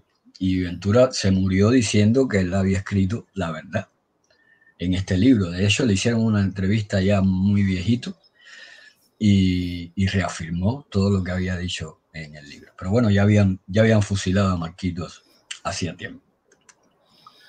Eh, vamos a tirar para adelante. Ah, aquí se da una circunstancia que es que un tiempo antes, y me parece que aquí va a salir un señor. Tirso Urdanibia. Urdanibia es con R, Urdanibia, pero está mal escrito. Esto está sacado del documental de, Liliana Parodi y lo escribió mal. Eh, este hombre eh, había sido también miembro del directorio y unos meses antes había desaparecido. O sea, lo, hicieron desaparecer. ¿Lo hicieron desaparecer los del directorio o la no, policía? No, no, no, la policía de, la policía de Ventura. La policía de Ventura llegó a su casa, a su padre le metieron un tiro y a él se lo llevaron y nunca más apareció. En el, en el documental podrán ver a una vecina de Tirso Danivia que habla de eso y cuenta del día que desapareció. ¿Y qué pasaba? Que Tirso Danivia era amigo de Marquitos. Y enseguida sobrevoló la historia de que no era la primera delación de Marquitos, que Marquitos también había delatado a Danivia. Ah, de ahí viene entonces esa, esa eh, afirmación de que Marquitos ya era un delator. De que ya era un delator. Por la desaparición de este joven y el asesinato de su padre. Exacto. Pero tú fíjate cómo es esto. Eh, a Marquito se le trata de delator antes de, antes de juzgarlo en todos los periódicos. Ahora el delator, no sé qué, y mañana va a ser el juicio del delator y el delator y el delator. Y tanto se quedó el delator que esta muchacha que hace este, este vídeo, que se llama Liliana Parodi, eh, trata a Marquitos de delator también antes del juicio. O sea, intentando hacer un, documental objetivo, cae en el mismo error y en el, mismo error taimado y malintencionado de la revolución, que es estarte diciendo todo el rato que el tipo es el delator, el delator, pues ahora viene el delator y ahora va a hablar el delator, el miserable y el, delator, y al final se te va quedando en la cabeza de que el tipo realmente fue el delator, cosa que ni de lejos se probó, como ya veremos. Entonces, eh, bueno, pues mm, cuando la historia oficial cuenta que Marquito se identificó eh, ante, ante, déjame esta foto, ante mm, Ventura como un estudiante universitario, eh, que los compañeros, que las personas que estaban en ese, en ese apartamento eran sus amigos suyos del directorio y eh, que se autopropuso como agente clandestino doble aventura todo esto no lo dijo Marquitos. Esto se dijo en el juicio, pero no lo dijo nunca. De, los labios de Marquitos no salió y de los de Ventura tampoco. Y justificaba su traición alegando que había tenido un repentino cambio de ideología en su cabeza y una supuesta comprensión de la inutilidad de la lucha armada y que por eso daba ese paso al frente y delataba a sus compañeros. Esta historia se la compró así igualita Marta Jiménez, la, la, mujer viuda de Fructuoso Rodríguez, y cuando creció también la compró completa Osvaldo Fructuoso Rodríguez, su hijo nonato, en su momento. Eh, era la historia que, Fidel quería instalar en la gente y al final eh, lo consiguió. Bueno, eh, en el juicio después ya veremos que hay una insistencia del juez en preguntarle a Marquitos que si habían problemas entre él y sus compañeros y de qué tipo eran. Si se oyen las voces en el juicio, en algún momento cuando lo escuchen, verán que Marquito no responde nunca a esa pregunta. En aquel momento partían de un solo punto. Todo lo que no era nuestro no servía. Esa es la verdad. Esa es la voz de Marquito Real. Sí. Ya, Déjame, déjame avanzar un poquito aquí, a ver si podemos escuchar un poco las voces del, del Sí. juicio. Estas son voces reales del juicio. Por él merezco la muerte. A mí me fue muy difícil aceptar que hubiera hecho semejante cosa. esto un- es una confesión. Méritos de, de ocultarlo, de desvirtuarlo. Que me parecía que, que yo no había cometido eso, que era tan monstruoso, tan, tan inhumano, tan cruel, tan, tan horrible, que yo no podía aceptar. Realmente no podía aceptar que yo hubiera hecho eso. ¿Por qué precisamente se llamó Aventura y no a cualquiera? Pensé en él, primeramente en él como el más verdugo y por eso lo hice. Francamente no puedo continuar. Perdón. Páramelo ahí. ¡Para! Como dice Botadora. Pues, eh, mira, ¿alguien se acuerda del juicio de Shoah? Esto es una autoconfesión de, de una, una autoinculpación de Marquitos, que claro, Esto es, eh, una, esto es una autoinculpación de Marquito. ante el libro de Ventura diciendo que fue Faure Chomón y la autoinculpación de Marquitos, claro, la gente piensa que efectivamente fue Marquitos. Claro, claro. Ahora, hay que ver, es que todavía no hemos llegado al juicio. eh, hemos puesto esto aquí para que la gente mm, se introduzca en la situación. Marquitos llegó a ese juicio eh, después de estar mm, tres años preso. A él lo detienen en el año 61 y el juicio se celebra en 1964. Eh, después que lo sometieron a todas las vejaciones y las torturas físicas y psicológicas que se puedan imaginar, vamos a ver a los torturadores de Marquito en este programa que yo les voy a enseñar, que están vivos, están en Cuba. Los torturadores de Villamaristas psicológicos de Marquito. Y Marquitos fue sometido a un montón de sesiones de inyección de pentotal sódico, que es lo que le llamaban el suero. El de suelo de la verdad. Esto es una historia, o sea, por eso, por eso ha venido también que hablemos de esto, porque eh, lo tenemos muy reciente. Esto que ha pasado con, con, Luis Manuel me recuerda mucho esta reacción de Marquitos. Fíjense cómo habló Marquitos en, esta, en este juicio, después de haber estado sometido a esto que les estoy contando. Se cuenta que en, en la celda de Villamarista, donde Marquito estaba preso, pero no en Villamarista, estaba preso en una casa en Miramar, la tenían solo para eso. Y, y lo- y lo- y los interrogatorios eran en Villamarista y lo trasladaban allí. Me, pregunta Elsa, me pregunta Elsa Carlos que, que por qué tanta saña con, con Marquitos. porque Marquitos le sirvió a Fidel para muchas cosas. Eh, sería adelantarme un poco a los acontecimientos, pero eh, aquí está el PSP de fondo. Exacto. Era el Partido Comunista. Es algo de de lo que está hablando, es algo de lo que está hablando en el chat Julio Soto, eh, y es algo de lo que vamos a hablar más adelante, Elsa. Vamos, vamos, a, vamos a llegar allí más adelante. Yo quisiera desgranar todo bien antes para, para que después haya un entendimiento de esta situación, porque detrás de Marquitos estaban los sobrevivientes del PSP. Algunos de ellos transitaron al movimiento 26 de julio con Fidel Castro eh, mm, sin ningún tipo de problemas y otros se resistían a abandonar el partido porque el PSP era el contacto del comunismo cubano con Stalin, no era Fidel.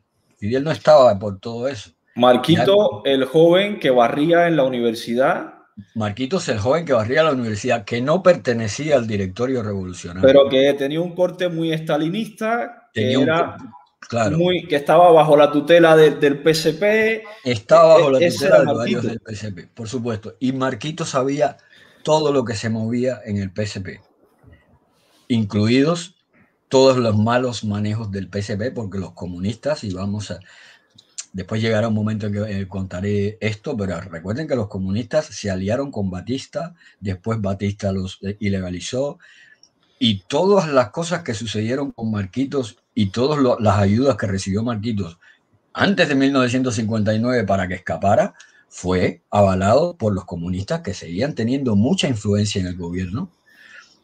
Carlos Rafael Rodríguez era del PSP y había sido ministro sin cartera de Batista tenía muchísimas relaciones. La embajada de Cuba en México, ahí estaban las dos Teresas, que ya hablaremos de las dos Teresas, quienes eran comunistas recalcitrantes y sin embargo eran, eran eh, representantes culturales y comerciales de, la embajada eh, batistiana allí. Y Marquitos al final se va a, un, a una plaza en una embajada checoslovaca pagada con el dinero de Batista. Fíjense la importancia y la fuerza que tenían los comunistas en el gobierno de Batista sin estar gobernando y estando ilegalizados. O sea, es impresionante. Eh, vamos a seguir. Bueno, eh, me pones esta foto, ah, como me, he un poco del tema, pero, ah, amigo, pues aquí vamos a entrar en, en el pescado de la cosa. Marquitos y y yo. Claro, yo te había dicho, ponme la, foto anterior. No sé si la foto anterior es la de la cena. ¿Es la de la cena o, es la la de la cena. Cuando en Cuba había. bien, que quiero que la gente la vea porque esta foto es muy poco conocida. Esta es la foto cuando Cuba era mala, pero había comida. Sí, sí. Fíjate que bien estaban ahí los del directorio revolucionario, mataban por la mañana y por la tarde hacían una cena que te cagas en cualquier restaurante de La Habana. Eh, el de la extrema izquierda es Joe Westbrook. El de la extrema derecha es Marquito Rodríguez. El que está sentado al lado de Joe Westbrook es Manzanita, José Antonio Echeverría. El que está sentado al lado de Marquitos es Fructuoso Rodríguez. ¿Por qué estaban sentados en... Bueno, tú dices, bueno, mira, cada uno se sienta donde puede. Pues no.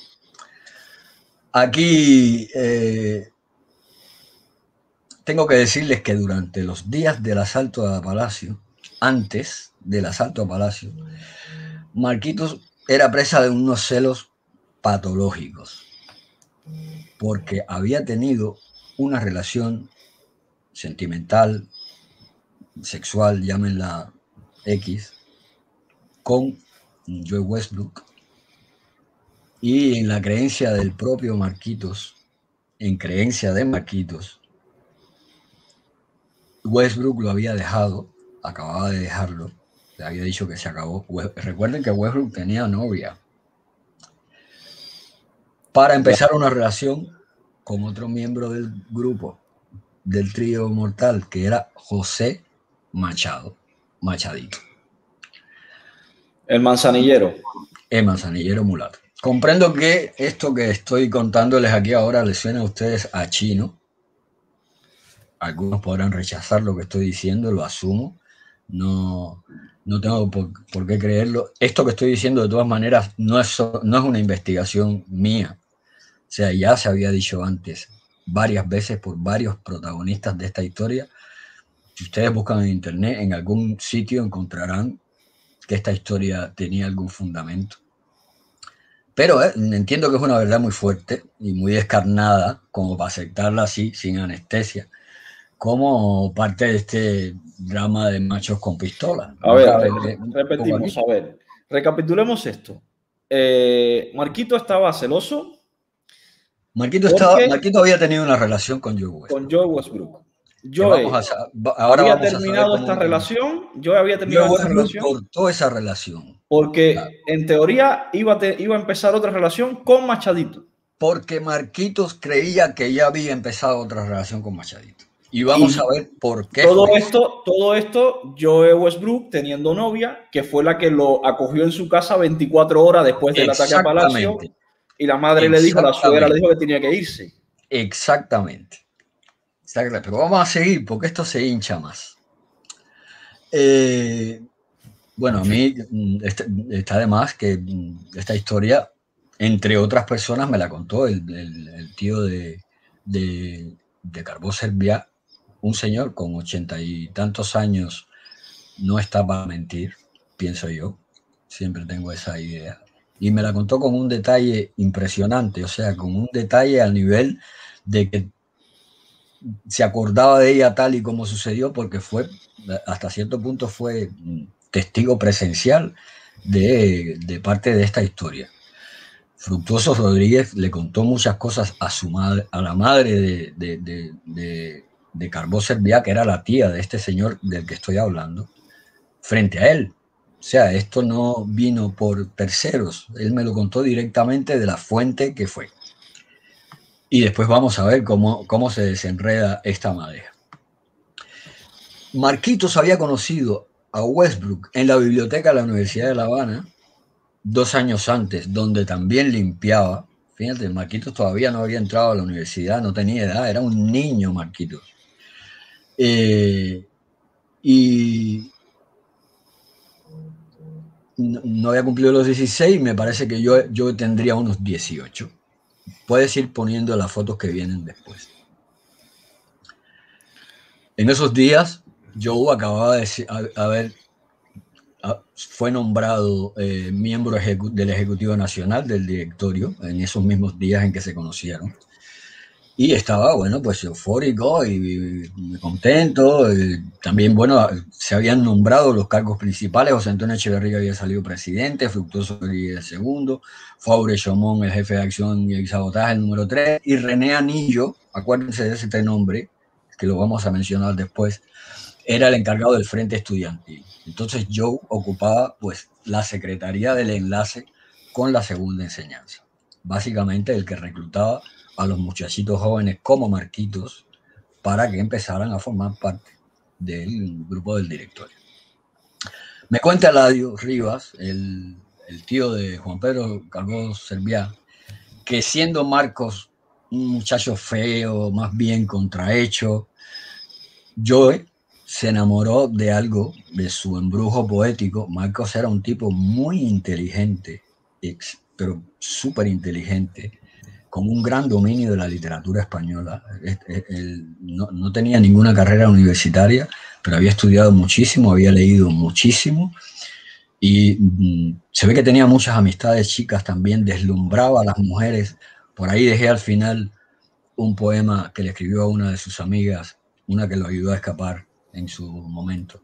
Eh, no, no, lo he, no le he puesto número, pero lo he dejado al final para dejarlo para verlo como cosas así como misceláneas. Y Westbrook quedó un poco prendado por este, que él era también de esta misma onda, y sin embargo su novia no era, era un poco machorra, su novia era más, eh, tenía un temperamento menos romántico, y sin embargo Mar eh, Marquito se ve que en algún momento le, le dio el punto a Joe y empezó esta relación a escondidas, por supuesto. Y esa foto que vimos de la mesa es Pónmela otra vez. Sí, te la pongo otra vez. Otra vez. Esta foto que vimos de la mesa es sintomática de cómo ellos llevaban esa relación. Joe le obligó a Marquitos a no estar cerca de él nunca en público. Fíjense. Por eso están en los extremos de la están mesa. Están en los extremos de la mesa. Y, y siempre fue así.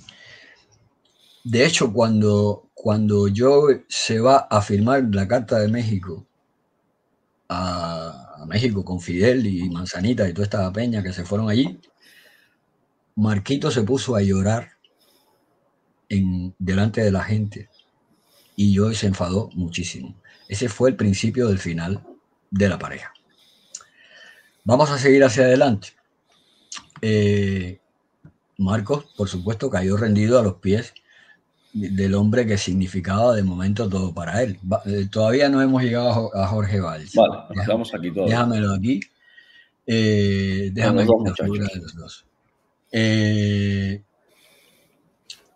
como ya les he dicho, mm, yo le había prohibido a Marquito acercarse a él y de hecho le había sugerido en un momento dado que se echara novia para no levantar sospechas. Ahora sí que me puedes poner a Jorge Valls porque eh, en el juicio, a ver, Jorge Valls, de todas las personas que estuvieron en ese juicio, después Jorge Valls fue condenado a 20 años de cárcel. ¿eh? Yo eh, les recomiendo a, a, la gente que me está viendo que busquen en internet una entrevista que le hizo Enrique del Risco a Jorge Valls en Miami antes de morir, que es interesantísima. Jorge Valls es, un hombre con una honestidad a prueba de bala.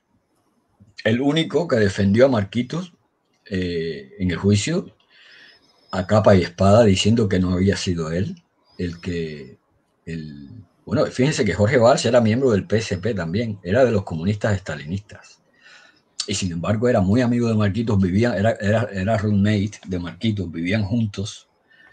Y también Jorge, y lo puedo entender, decía que Marquitos no era homosexual. De hecho, le presenta a una amiga, se llamaba Dora Romeo, para que para que ver si, si surgía el amor, pero Marquitos no pudo sustraerse a su condición sexual natural y aquello no llegó a nada. Jorge seguía diciendo que no, que sí, que, se, que ellos se habían enamorado, que, pero que pasa que él era muy tímido. Eh, Vamos, negando, negando la mundial. Negando la mundial porque en Marte se sabía que Marquitos era gay, vamos, no había que ir muy lejos. Marquitos usaba en, aquella época pantalones amarillos y chanclas eh, sin media, que era bastante llamativo para un hombre en ese momento, en aquella época vestir así. Y ya eh, entiendo perfectamente, o sea, Jorge no mentía, Jorge creía eso realmente, porque, y lo sabemos todos los que, los que tenemos una condición sexual en, diferente, y hemos tenido que mentir a nuestros padres y a las personas que viven con nosotros para, para ocultar eso mm, alguna vez y eso lo sabemos, todos los que hemos pasado por ahí sabemos cómo se hace eso. Marquito salía de madrugada y yo no sabía dónde iba. Después ya mm, sabremos dónde, dónde iba Marquitos de madrugada. Eh, y, era muy amigo de los padres de Marquitos. Los padres de Marquitos lo tenían como la persona que, estaba cuidando de él. Fue un tipo que fue leal a Marquitos hasta el último día de su vida. Y hasta el último día de su vida estuvo diciendo que Marquitos no había delatado a eh, sus compañeros del directorio. Bueno. déjame hacer una puntualización porque, eh, claro, estás, estás, narrando cosas y mostrando fotos y a lo mejor alguien piensa, bueno, ¿y dónde está la, la fuente bibliográfica? Hay que destacar una cosa importante. Cuando uno va a recabar la historia, hay dos formas básicas de hacerlo. Oyendo a fuentes escritas, documentales, oyendo a narrativas de las personas que vivieron la historia. Claro. Las dos fuentes son válidas. Aquí Carlos está yendo a esta segunda fuente, que es a la narrativa de las personas que vivieron la historia y la contaron del boca a boca. Y esto parece ser algo novedoso, pero es que Así se cuenta la historia desde la Grecia antigua. Así conocimos la Ilíada de Homero, por ejemplo, para que tengan una idea. A ver, eh, mucha gente me ha preguntado, bueno, pero ¿y eso dónde está escrito? Sabes que es lo primero que la gente siempre pregunta, pero tú eso dónde lo leíste? Y es que hay cosas que no están escritas. Y de hecho, esto que yo hice eh, es para empezar a escribir una historia que no está contada. Yo tengo, ya lo dije, 80 horas de grabaciones con Evelio, pero tengo ciento y pico de horas de grabaciones con más personas que tuvieron que ver con esta historia. O sea que tengo ahí eh, la prueba de que eh, estas personas no, no, mentían. También tengo muchas cosas grabadas que no, no eran ciertas y que después cuando las contrasté no eran verdad. Porque también la investigación pasa por eso, ¿no? Y por el error, y prueba y error, prueba y error, y hay, un, hay datos que yo me he tenido que tirar tres años para saber un nombre. O, tres años para poder averiguar una dirección. Entonces, eh, pues sí, eh, es lógico que la gente se pregunte, bueno, pero ¿y esto de dónde él lo sacó? Pues eh, lo saqué de las fuentes originales. Y la historia no está contada porque no se podía contar y porque todavía no se puede contar allí en Cuba. De hecho, hay muchas personas que pudieron haberme dado un, un testimonio y no me lo dieron por miedo. Oye, es que siempre todas las historias empiezan contándose en un primer libro. Las historias no se, cuando, cuando pasa algo, al otro día no está el libro. Ni la película. Claro, entonces siempre hay alguien que por primera vez escribe el libro de lo que pasó. Y para escribir el libro de lo que pasó hay que hacer un trabajo investigativo como este que tú has hecho. Claro. Ya luego en el libro se citarán la fuente, la persona que dijo tal cosa y todo esto. De todas maneras, de todos estos extremos que pueden parecer locos, mm, que yo he contado, porque yo aquí lo que me he ido un poco al detalle de cómo sucedieron las cosas. Pero el hecho de que, por ejemplo, Marquitos y Joe Westbrook habían tenido una relación, eso está contrastado por varias fuentes, no solamente por mí. Eh, escriban la palabra Marquitos Rodríguez Joe Westbrook homosexual en Google y van a encontrar muchas fuentes antes que yo. O sea, yo todavía no había empezado a, investigar, que ya habían hablado de esta historia. Y yo cogí este, ese hilo y empecé sin creerme nada de nadie a ciegas. Y les voy a decir una cosa.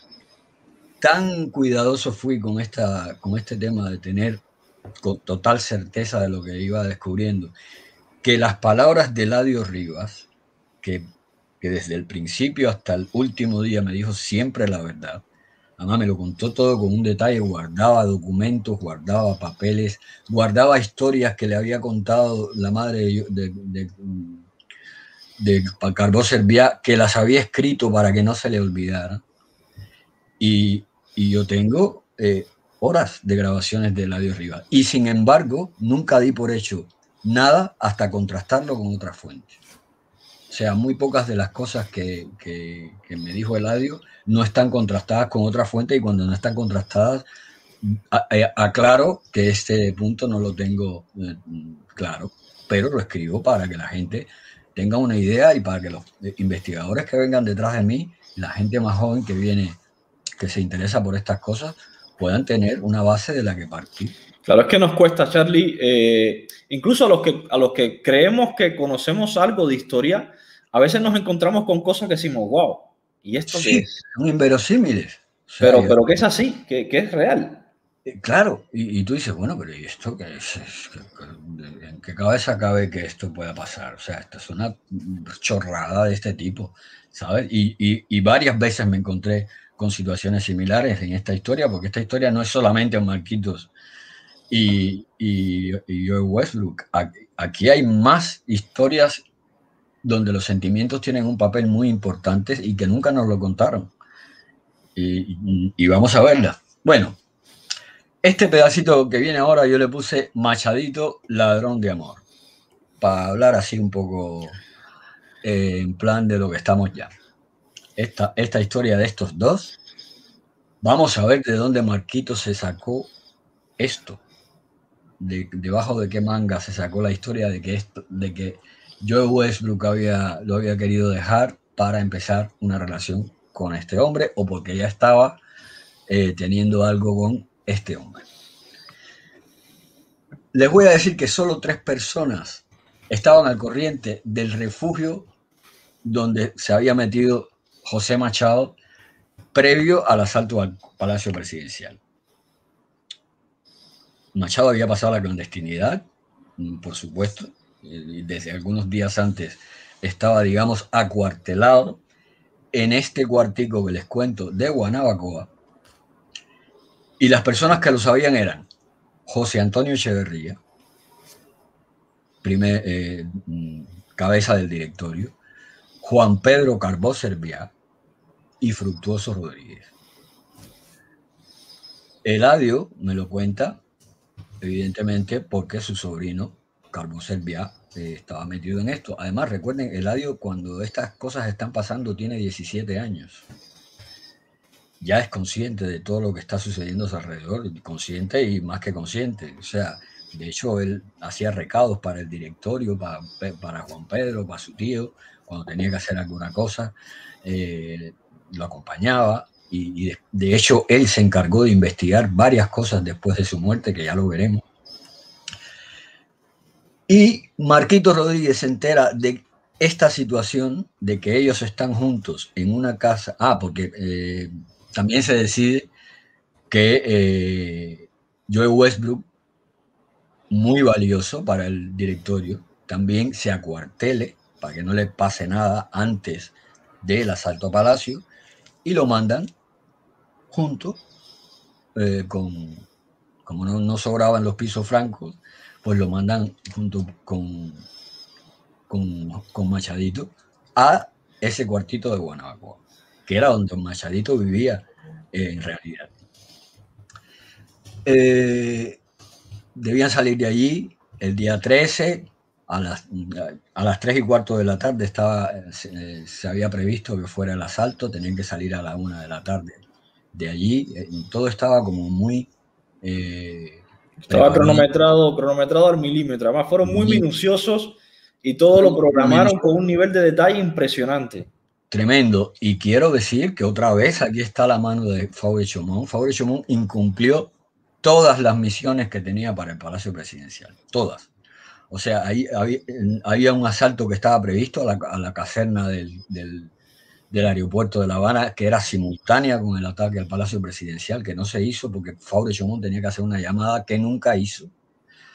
Eh, esta es otra historia. O sea, un día podremos hablar del asalto a Palacio porque está lleno de irregularidades y de... Es que, es que cuando tú miras el asalto a Palacio, a Palacio miras el 30 de noviembre, miras el 5 de septiembre sin fuego, es que es el mismo modus operandi de esta gente. Exacto. Es que hicieron lo mismo. Hicieron exactamente lo mismo. Hicieron lo mismo. Y, y, y, también uno dice, coño, pero ¿cómo puede ser que este hombre que, que, que, hizo el asalto a Palacio, cómo iba a conspirar contra sus propios compañeros, eh, poniéndole palos en las ruedas dentro de la acción? No, no, no, es posible que se... Pues lo hizo por algún motivo. Claro. Y eso sí, al final, siempre al final las cosas salen a flote porque, porque actuamos de determinada manera, que no es la prevista. Bueno, eh, hay que decir que Faure fue el tercero al mando de esta, de esta historia. O sea, Faure estaba al mando de, otra persona eh, que no, no, no, estaba ni, ni siquiera al seg segundo al mando de la acción. Eh, para poder hacer esto, él, era el tercero del, directorio, pero recordemos que este es un plan que se lleva a cabo con gente de varias facciones, también había gente del Partido Auténtico, se montó un operativo especial y Faure no era el dirigente de esta historia, no estaba al frente de ningún equipo. Bueno, eh, la calle, y ponme la foto que viene ahora. Oye, me, me, acaban de decir por el chat, Charlie, que acabo de salir en Telesur y estoy hasta emocionado, fíjate. No me digas. Sí, bueno, sí, sí. Tenemos que, eh, antes de... Además, de, eso, Debe haber sido en una de las directas contigo, porque me ha dicho Mario en el chat que es en un programa hablando del tema relacionado con homosexualidad, así que debe haber sido una de las directas contigo. Vamos a ver si Mario me puede pasar el enlace y ya te lo paso. Coño, qué fama de maricón he cogido yo, entonces. eh, de, de, todas maneras, si alguien puede poner el enlace ahí y, antes de irnos eh, lo pinchamos y vemos qué fue. Hombre, sí, sería buenísimo. Eh, que la gente más o menos, caballero, vayan ahí haciendo trabajo voluntario. No, es que, es que, es que una, una, pausa aquí, es que, eh, oye, Eliezer, Chucho, eh, Robertico, Liu salen en el noticiero. Y sí, yo, en sí, Telesur, yo en Telesur, yo soy hasta internacional, Charlie. Que, que les he ganado. Sí, sí, sí, porque ellos se quedaron ahí en la mierda esa de Canal Ellos están en Cuba, yo soy de, yo soy de Cubavisión Internacional. Y bueno, vamos, si, si salgo yo ya, es que mañana vamos, me lo cojo de ocasión. Oye, eh, bueno, vamos a seguir. Esta es la calle donde estaba, a mediado, de, a mitad de esta calle, señores, de, de, esa esquina que se ve para allá, a media calle, y del lado izquierdo, donde están los portales, estaba el solar, donde estaba la cuartería, donde vivía Machadito. O sea, esta es la calle Palo Blanco de Guanabacoa. Y Marquitos llegó allí porque le llevaba a esta gente comida y balas. Eh, Marquitos llegó a la casa. Fíjense, yo voy a contar primero lo que sucedió y después voy a decir por qué sabemos esto. Les voy a leer las palabras exactas transcritas de una grabación de Eladio Rivas. Dice, Marquitos llega al cuartico de Palo Blanco con, Maceo, eh, Palo Blanco con fíjense, es, esa intersección, y le abre Machado en calzoncillos. Marquitos entra y encuentra a Joe poniéndose los pantalones y aún sin camisa. Está claro que ambos han estado acostados en la única cama que hay en la pieza, que es una cama pequeña, personal, aún descendida. Había música en la, en la radio. Marcos estaba incómodo y nervioso. Saludó a Joe con pocas ganas, intercambió algunas palabras con Machado deseándole suerte en la acción armada, dejó la comida y una cajita de municiones sobre una mesa y se fue. Pero no se fue. Cuando Machadito cerró la puerta y también una reja que había con un candado, Marquitos dio la vuelta a la cuartería por un patio trasero, puso una piedra en el suelo para subirse y mirar por una ventana estrecha que había casi pegado al techo, desde donde se veía la pieza que acababa de abandonar. Y entonces vio que Machado se había quitado los calzoncillos, se había quedado otra vez en cueros, estaba cargando la, su pistola con las balas que él había traído y sopesándola con la mano. Eh, mientras Joe lo interrumpe, mm, vuelve a quitarse los pantalones, se tumba en la cama, Machito, Machadito le trae la pistola y se la da yo para que la mm, maneje, para que la sopese también, y este la deja a un lado y atrae al mulato hacia sí. Esto es lo que me cuenta Eladio, que lo había escrito en un papel mm, tiempo atrás, para que no se lo olvidara.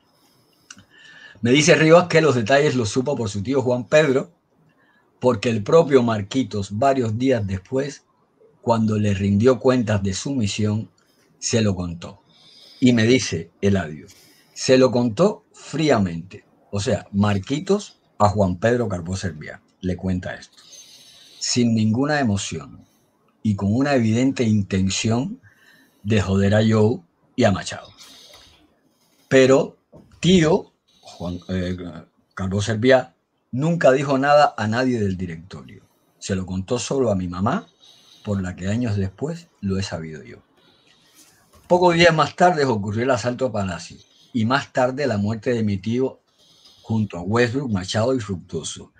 Yo le tengo y le tendré un gran agradecimiento a Pepe, a José Machado, porque en el asalto a Palacio, lo que les contaba yo antes, mi tío Juan se quedó rezagado en la huida y Pepe regresó a buscarlo debajo de las balas. Por eso lo hirieron en el muslo y estuvo escondido toda esa madrugada en un solar, yermo perdiendo sangre y sin atención médica, hasta que pudo trasladarse al apartamento de Humboldt. Allí los mataron a los cuatro. Bueno, ya les digo que yo este rumor ya lo, ya lo había eh, leído por algún sitio, no le había dado demasiado valor, hasta que me encontré con el Adiós Rivas que me cuenta esto. Entonces, eh, Eladio me dice, que no cree que esta relación entre Marquito y yo fuera una relación sentimental. O sea, era fue una especie de descanso del guerrero en, cualquier, en último caso, y circunstancial. Porque eh, Joe y Machado estaban allí en ese cuartito no porque ellos habían querido, sino por orden de Manzanita, que los había unido para que estuvieran allí acuartelados. O sea, probablemente nunca hubiera pasado nada entre ellos si no hubieran estado por esa casualidad. No fue una relación mm, amorosa duradera en el tiempo. De hecho, el me dice, yo estoy seguro de que ahí no pasó nunca nada más. Eh, pero estoy seguro de que Marquitos se lo tomó como tal. Claro, Marquitos cuando vio eso se le vino el mundo al suelo, literalmente. Y le vinieron todos los demonios juntos.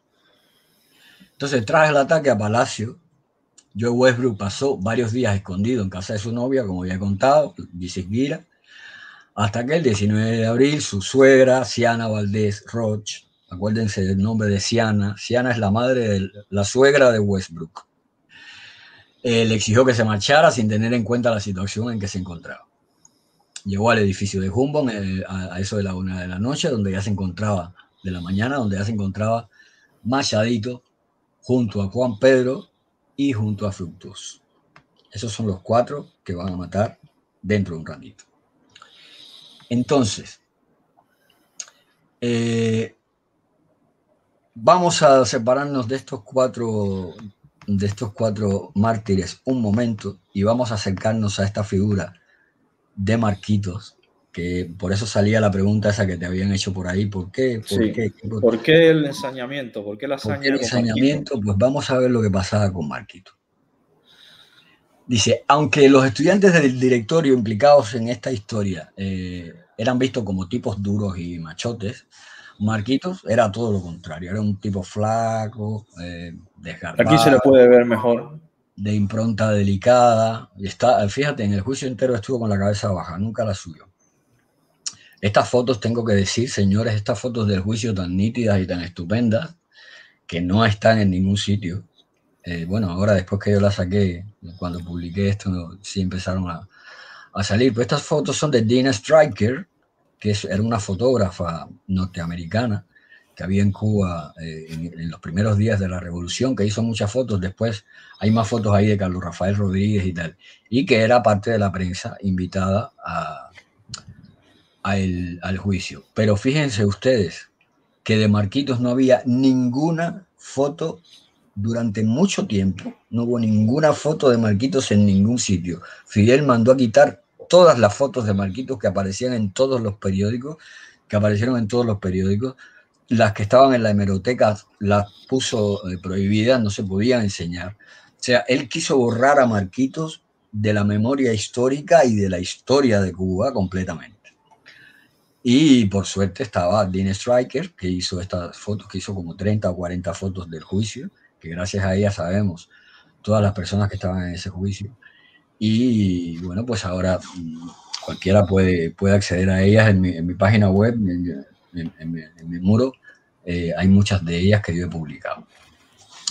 Bueno, también digo que Marquitos era muy querido, no deseado, pero muy querido por el sexo femenino, como ya les he contado.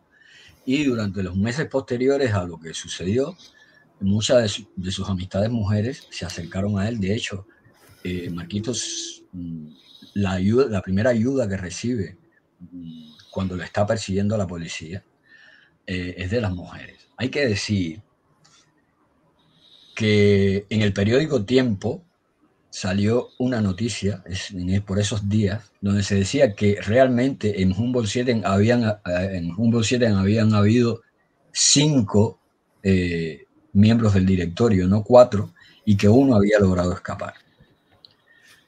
Esta nota de tiempo, pueden imaginarse quién la publicó, pues Faure Chomón.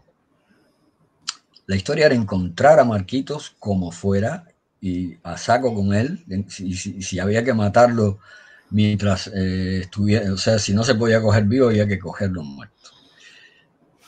Y tan, tanto eh, empeño se tomó Faure en perseguir a Marquitos que designó a un miembro del directorio a tiempo completo para que persiguiera a Marquitos y lo encontrara debajo de la tierra, incluso si se iba fuera del país. Y así mismo pasó. Esta persona se llama Guillermo Jiménez, se llamaba, felizmente se murió hace muy poquitos años.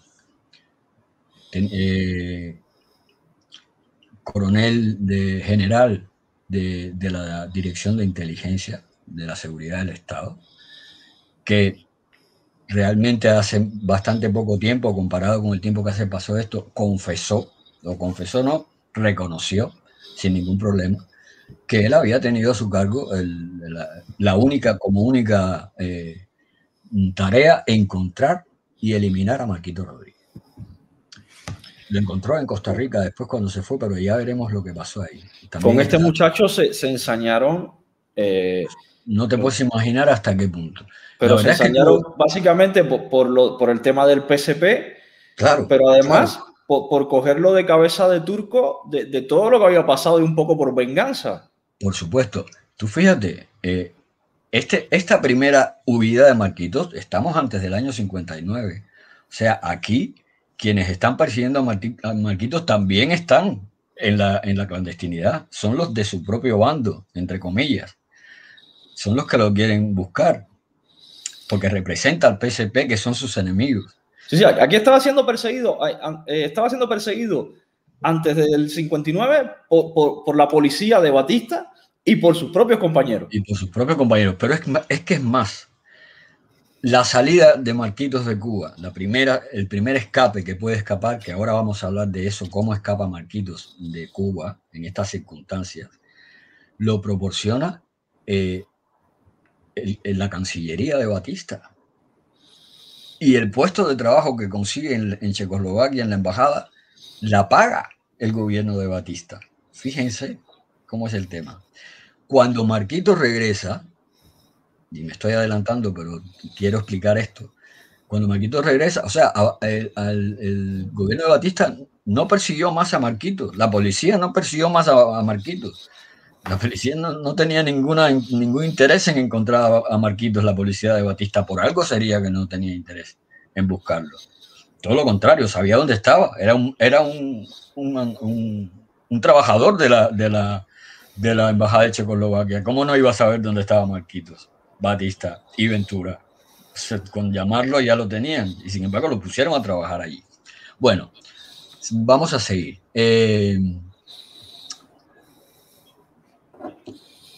Marquitos, como ya he dicho, no tenía edad para, para, estar en la universidad, era un mozo de limpieza de la Universidad de La Habana. Y eh, de pronto era miembro del PSP. De pronto. ¿Cómo es que podía ser miembro del PSP tan joven? Esto se, pregunta varias veces en el juicio. Y el, presidente de, eh, de organización, el secretario de organización del PSP, René Anillo, recuerdan que le dije, recuerden a René Anillo, pues este hombre recibe una, una, solicitud para que eh, Marquito sea dado de alta como miembro activo mm, militante del partido con, toda su juventud. ¿Quién envía esta solicitud? Joaquín Ordoqui, también histórico del PSP, eh, y a la postre uno de los protectores de Marquitos, que es de esos que estaban en la sombra, que son muchos más, pero este fundamental.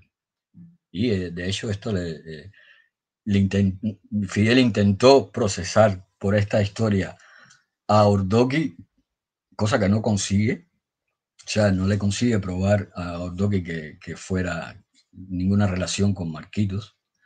Yo soy, bueno, he sido amigo de Teresita Ordoqui, la hija de, de Joaquín. Me ha costado muchísimo trabajo, me costó su silencio y su lejanía durante un tiempo que contar esta historia, pero mm, la verdad no se puede ocultar con un dedo por, los historiadores tenemos este problema, que tenemos que afrontar los hechos quitándonos de encima eh, los afectos y las cercanías con gente y eso. Eh, yo creo que ella me ha entendido al final lo que yo eh, he querido explicar de su padre. Es bastante duro que alguien, bueno, su padre fue denostado y fue mancillado y, vilipendiado por la revolución durante mucho tiempo y de hecho murió en una prisión domiciliaria porque lo que, de, lo, de lo que lo, consiguieron acusar fue de ser agente de la CIA. Eh, y resulta que fue una trampa que le tendió la CIA a Fidel, pero ya llegaremos a este punto. Eh, de momento, vamos a poner más fotos ahí, porque ahí aparecerá de pronto Blas Rocas, en la sede del PSP. Y yo voy a pasar, aquí está, ¿no? Sí. Foto seguramente la hemos pero, Pero esta no la, puedo, no la puedo ampliar. Esta no la puedo ampliar. Esta no se puede ampliar. Bueno, no, importa. Mira, no sabía que la tenía pequeñita, podía haberla buscado con más resolución. Pero bueno, ahí está en el, en el balcón de la sede del PSP, del Partido Comunista. Fíjense, el Partido Comunista tenía una super sede eh, en, en, el, en el Prado espectacular y ahí estaba Blas Roca. Y toda, y toda la camarilla del PSP desde el principio. Eh, por supuesto, Marquitos conocía todo lo que había debajo de esto. El PSP eh, tenía infiltrados, literalmente infiltrados, mucho personal en otros partidos políticos. Ellos ejercían un espionaje político desde Mella en adelante pasando por todos los gobiernos desde la revolución que hubo para tumbar a Machado y todos los demás gobiernos republicanos, eh, ya estuviera eh, como partido reconocido o después como partido en la, en la, en el, en la clandestinidad, como, le, como, lo, como hizo Batista la segunda vez que vino, porque la primera se alió con ellos para, la, para, para las elecciones y, por ahí hay, me parece que empezarán a venir fotos electorales de Batista con el PSP. Bueno, aquí están los estudiantes del directorio, pero después me parece que viene una batería de... de... Esto ya son los... Ya aquí, ya aquí están apareciendo ya... Déjame ver si las encuentro, que creo que las vi. Eh, mira a ver si era por ahí. Eh, mm, me parece que estas están aquí, esta que has enseñado del, del portal con, con el, con el, niño viendo la sangre. Este niño es el hijo del portero de Humboldt 7 y esa es la sangre que corría por ahí de, los muertos que habían ahí, de Fructuoso y, de Westbrook, que fueron los que murieron ahí, Machadito y, el otro eh, pudieron escapar, no muy lejos, pero los mataron fuera del edificio. Y, y, es la portada del libro Un asunto sensible, eh, que, que, tiene, que escogió esa foto que es terrible, tremendo. Pero bueno. Eh, Vamos, Charlie, si quieres, eh, ya aquí a, a, esta, a estas alturas de la directa ya tenemos caracterizados a todos los personajes. Sí. Y la, y la causa posible de la autoinculpación de Marquitos. Sí. ¿Por qué si quieres no entramos ya en los hechos de que, qué pasó en Humboldt 7? Pues vamos a, en, eso es lo que vamos a ver ahora. Ah, vale, justamente. perfecto. Es lo que viene ahora, justamente. Vaya, parece que lo estás leyendo. Bueno. No, es, que, es que tú y yo tenemos un poco la misma metodología para seguir las cosas, ¿eh? Sí, sí. Fíjate. Eh, Fructuoso, Juan Pedro y Machado eh, recuerden que este, este piso está alquilado, que el dueño de este piso, eh, de, esta, de este apartamento, también pertenecía al, al, directorio revolucionario. Pero este piso lo alquila eh, Marquito Rodríguez. Marquito tenía una llave de este piso, él, y luego tenía, eh, o sea, había otra llave que tenía el directorio, que fue la que usaron ellos para poder entrar al piso y tal. Pero Marquitos tenía una llave del piso. Eh, aquí, aquí sucedió una. Yo les voy a contar lo que se narró, la historia, la, historia eh, oficial eh, cuenta esto. A ver. Ventura, con la información que tenía, ya, dicho la, ya haya dicho la revolución que fue por Marquitos, o haya sido, como dijo Ventura, por Faure Chomón, valoró la cuestión y dio órdenes concretas. Rodear la manzana del edificio, allanar el apartamento y matar a los que habían. Porque además ya sabía quiénes estaban dentro, sabía que muchos de ellos tenían delitos de sangre. Y eh, a las 5 y 50 de la tarde del sábado santo, del 20 de abril de 1957, el comando de Ventura entra en el edificio, 30 soldados armados hasta los dientes, entran en tropel armados con, con ametralladoras Thompson, con la orden de no hacer preguntas ni prisioneros, solamente matar. Eh, después vamos a ver ahí, eh, no sé si es antes o después de esta foto, que aparecían las fotos policiales de la policía eh, revisando el piso después de las muertes y tal. Las fotos son tremendas. Hay, sí, pues, hay, la, las fotos de los cadáveres las voy a, las voy a pasar rápido. Pásala rápido, hay una, sí, porque si hay una al final. Nos van a cortar la directa. Y hay una al final que es eh, un tío de, de, de, Fructuoso Rodríguez era médico y está en, en, la última foto que hay de cadáveres ahí, el tío eh, junto al cadáver sí. de, de Fructuoso. Bueno, pasa todas estas fotos que vamos a hablar de, de ya la movida policial. Voy, voy, a decir lo que pasó en síntesis. Al percatarse del movimiento policial en la calle, Westbrook, que es el amante, el ex amante de Marquitos, supuestamente, y más joven de los cuatro, baja al segundo piso, baja abajo, llama a un apartamento y le dice a la señora del apartamento que lo deje entrar, la señora accede, después esta señora la veremos por ahí en fotos de la policía, pero cuando la policía sube, revisando uno a uno los apartamentos, tocan al timbre de la mujer, donde, donde se esconde Westbrook y eh, ella, eh, Westbrook, para no eh, que no le hicieran daño a ella, pues dice que abran la puerta, abre la puerta Westbrook mismo para entregarse y no, mm, como si no, o sea, salió con las manos en alto, pero les dio lo mismo. los policías lo acribillaron a balazos ahí mismo, sin ningún tipo de preguntas, como tenían ordenado por Ventura. Eh,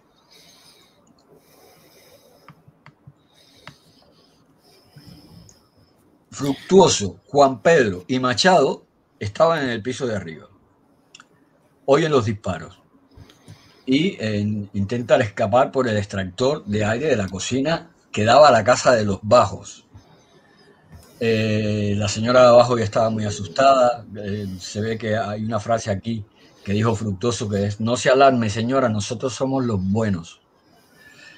Y mm, los tres salen corriendo hacia la puerta de la calle para dispersarse en, distintas direcciones. Juan Pedro corre, corre hacia el elevador, pero apenas llega, le disparan a bocajarro. Machadito y Fructuoso se lanzan por una ventana y caen en un pasillo de una agencia de automóviles que hay al lado del edificio que está cerrado con una puerta, con una reja y un candado. Pero Fructuoso ve al encargado de, la, agencia de automóviles y le grita para que venga a abrir la reja, que lo están persiguiendo. El hombre se dispone a hacer eso, pero eh, llegan los policías detrás, disparan a Machadito, le dan en los dos tobillos, o sea que lo dejan en el sitio, y eh, pues a Fructuoso lo acribillan en ese mismo. Fructuoso, Machadito dijo, no nos maten que vamos desarmados, grita también, es otra frase que se escucha, que, se, que quedó para la historia de ahí. Pero fue un ruego inútil ahí mismo. No, iban, además iban con órdenes de asesinarlos a los cuatro. A los cuatro, sin hacer muchas preguntas. Los tres cadáveres no fueron arrastrados por los pelos hacia la acera, sobre los sacos de sangre, bueno, aquello fue terrible. Eso es otra cosa. Eh, cómo se trató los cadáveres, que siempre me, me, resultó curioso, eso lo, he leído en varios sitios y luego lo he confirmado en, tu, en tus escritos, la forma ya no solo de asesinarlos, sino de cómo luego trataron los cadáveres, los arrastraron por el suelo, por los por pelos. El pelo, los cogieron, los arrastraron por el pelo. Eh, hay quien recuerda que, la, cabeza de, de Fructuoso dando cuando lo arrastraban por la cabeza contra el contén de la acera y después contra la calle. Eh, bueno, fue tremendo. Los vecinos gritando asesinos, los vecinos del barrio. Por eso a mí me sobrecogía el, pasear por esa, por esa cuadra, porque todavía estaban los agujeros, se quedaron los agujeros eh, de recuerdo ahí en, varios edificios, porque fue un tiroteo. y, quiero, y quiero puntualizar algo. Como mismo dijimos al principio, que estos cuatro jóvenes eran cuatro pistoleros de gatillo alegre, pandilleros, asesinos. Pues ahora creo que es válido decir que la muerte que tuvieron tampoco era merecida. Tampoco, tampoco.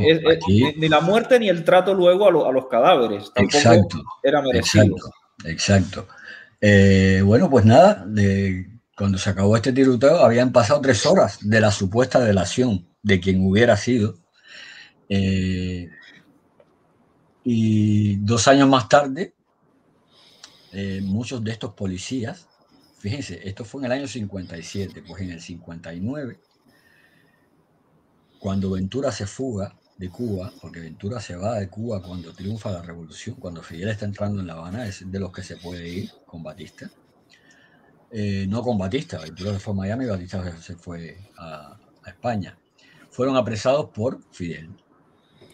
Aquí hay testigos de la masacre, hay que tener en cuenta y recordar que hubo muchos testigos. Esto es una foto del duelo en las calles que fue tumultuario, fue general, porque la verdad es que el pueblo se tomó esta muerte con, bueno, aquí eh, estaban ya convirtiendo en héroes a los mártires de Humboldt 7.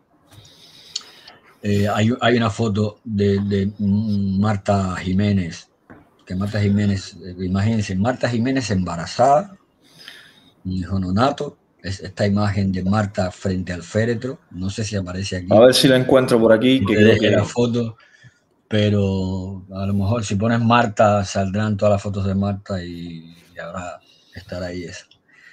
Bueno, eh, eh, la historia está en que, bueno, Ventura escapa con, Batista el 31 de diciembre, se establece en Miami.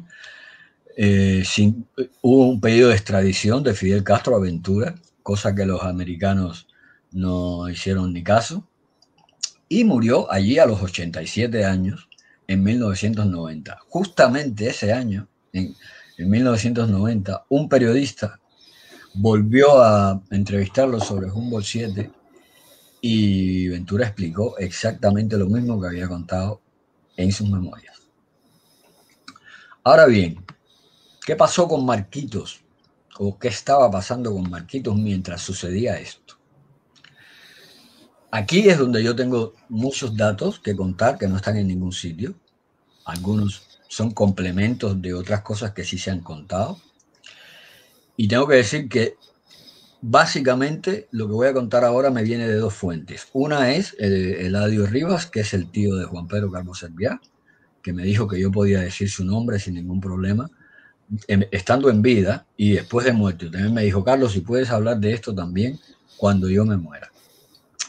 Eh, la otra no la puedo revelar porque es una persona que todavía está en Cuba, también muy mayor y cuya familia me dijo que prefería que no, que no le diera publicidad al nombre, por lo menos mientras estuviera vivo. Eh, el día 10 de marzo, fíjense, vamos a, ir un poco atrás otra vez con la moviola para saber qué había pasado con Marquitos en este tiempo.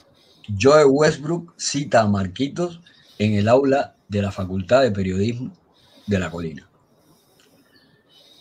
para decirle que quedaba excluido del ataque a Palacio. Porque hasta este momento Marquito era parte del comando de, bueno, había alquilado, la, alquilado el piso y, él estaba dentro del comando del directorio y, de hecho estaba ya trabajando para, para la, acción armada llevando las, las balas como vieron con, con el resultado que ya vieron y tal. E incluso le dice que incluso como personal de apoyo está desechado, que, no tiene que hacer nada, que se retire y que le devuelva las llaves de la casa. Según le dice Westbrook a eh, Marquitos,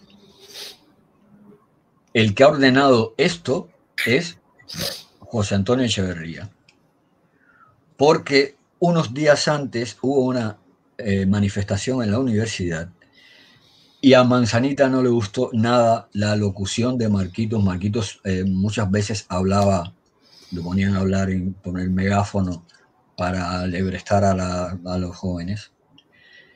Y ese día fue, su discurso era demasiado rojo para Manzanita. Y aquí recordemos que entran todas las divergencias que podían haber entre los, el, eh, el directorio, que eran jóvenes cristianos en su, en su, inmensa mayoría, y mm, de valores bastante contrapuestos a, a los... A los del PSP, a los miembros estalinistas claro, de los claro. comunistas del PSP. Claro. Y se ve que este discurso que dio, que dio o, esta, o esta arenga que hizo Marquitos no le gustó mucho a Manzanita.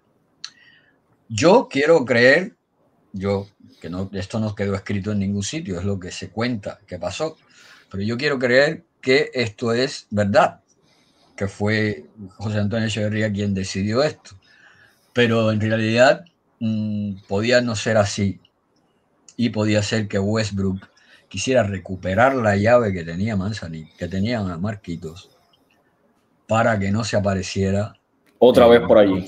Otra vez por allí. Y es lo mismo que pensó Marquitos.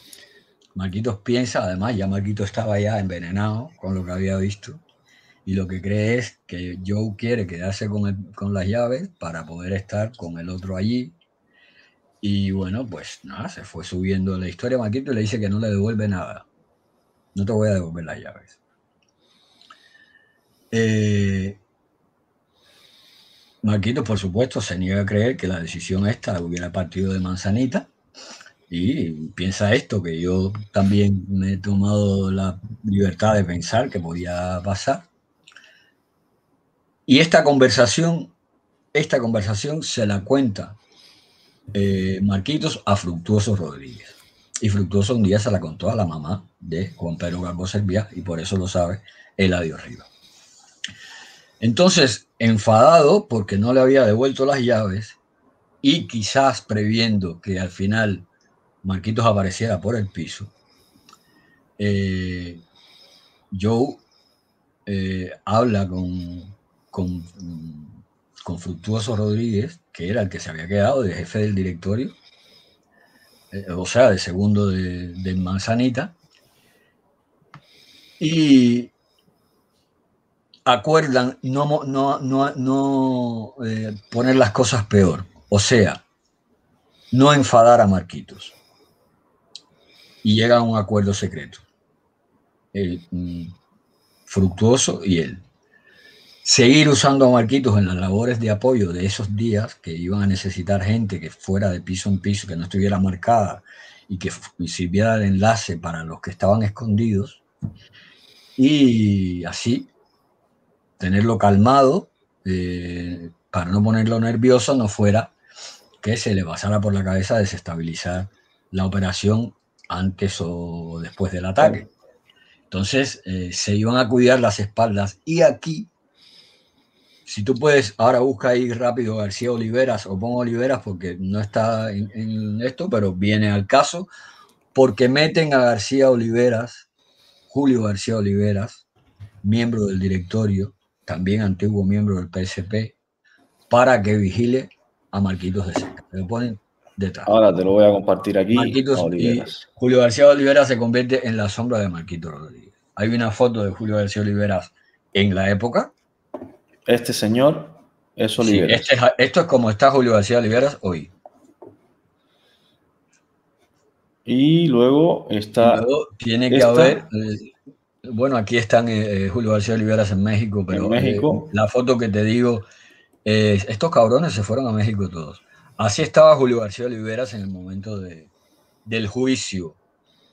Hay una foto de cuerpo entero por ahí que es como estaba en los días del asalto. No la tengo. No la tengo. No, no, está ahí. No, no la tengo. Pues entonces debe estar al final sin, sin de esto, como, la, como todas las demás. Bueno, bueno, eh, después del ataque al palacio, Westbrook consigue llegar a la casa de su novia en el Vedado, bueno, todo esto que había contado, y se va al piso del directorio. Eh, entonces hay un piso más que ellos tienen, Franco, en Ayesterán y 20 de mayo. Westbrook primero va a ese piso y ahí estaban esperándolo Machado y Juan Pedro Calvo Serviá. Fíjense cómo llegan todos, cómo llegan ellos al piso de Humboldt 7. No van directamente ahí a Humboldt 7. Como ya les había dicho antes, pasaron por distintos pisos francos. Y en, esta, en este piso de ahí estarán y 20 de mayo se reúnen eh, todos, los cuatro, y, y de ahí es que cogen un coche para irse a Humboldt 7.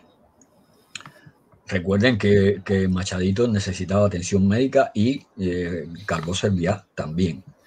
Que además eh, logran enviar a un médico a emergencias para que le envíen medicamentos y cosas y el médico lo consigue y trae vendas y todas esas cosas.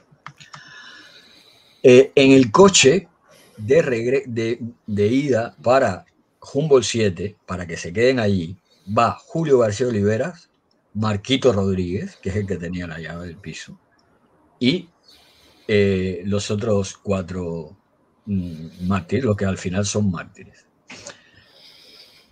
Marquitos insiste en que quiere quedarse con ellos en el piso de Humboldt 7. Machado se niega porque cree que es indispensable que García Olivera y él se ocupen de, de apoyarlos desde fuera y hacer de contacto con el movimiento.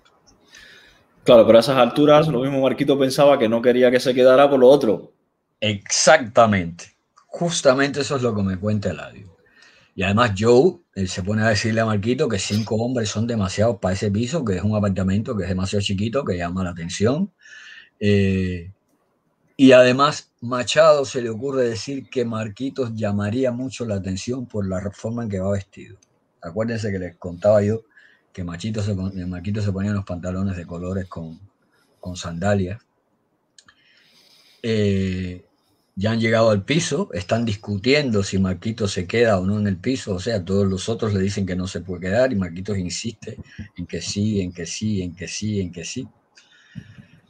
Eh, entonces, Juan Pedro le dice que está incumpliendo con sus responsabilidades con el directorio y Machadito vuelve a meterse para darle la razón. Entonces Marquitos talla y pronuncia la frase lapidaria esa de que tú lo que quieres es quitarme a Joe.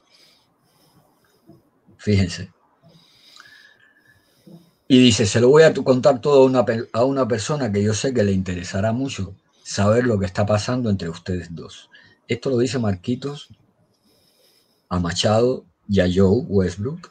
Por supuesto, se está refiriendo a la novia de Westbrook, a Dizzy Gira. Fíjense lo que hay aquí montado. Esto es en medio de la guerra, señores. Sí, sí, aquí los están buscando para matarlos y, ellos están. Y ellos están en este tema de. las relaciones. Así mismo. Entonces, dice Marquitos: A mí me engañaron, pero a ella no la van a engañar.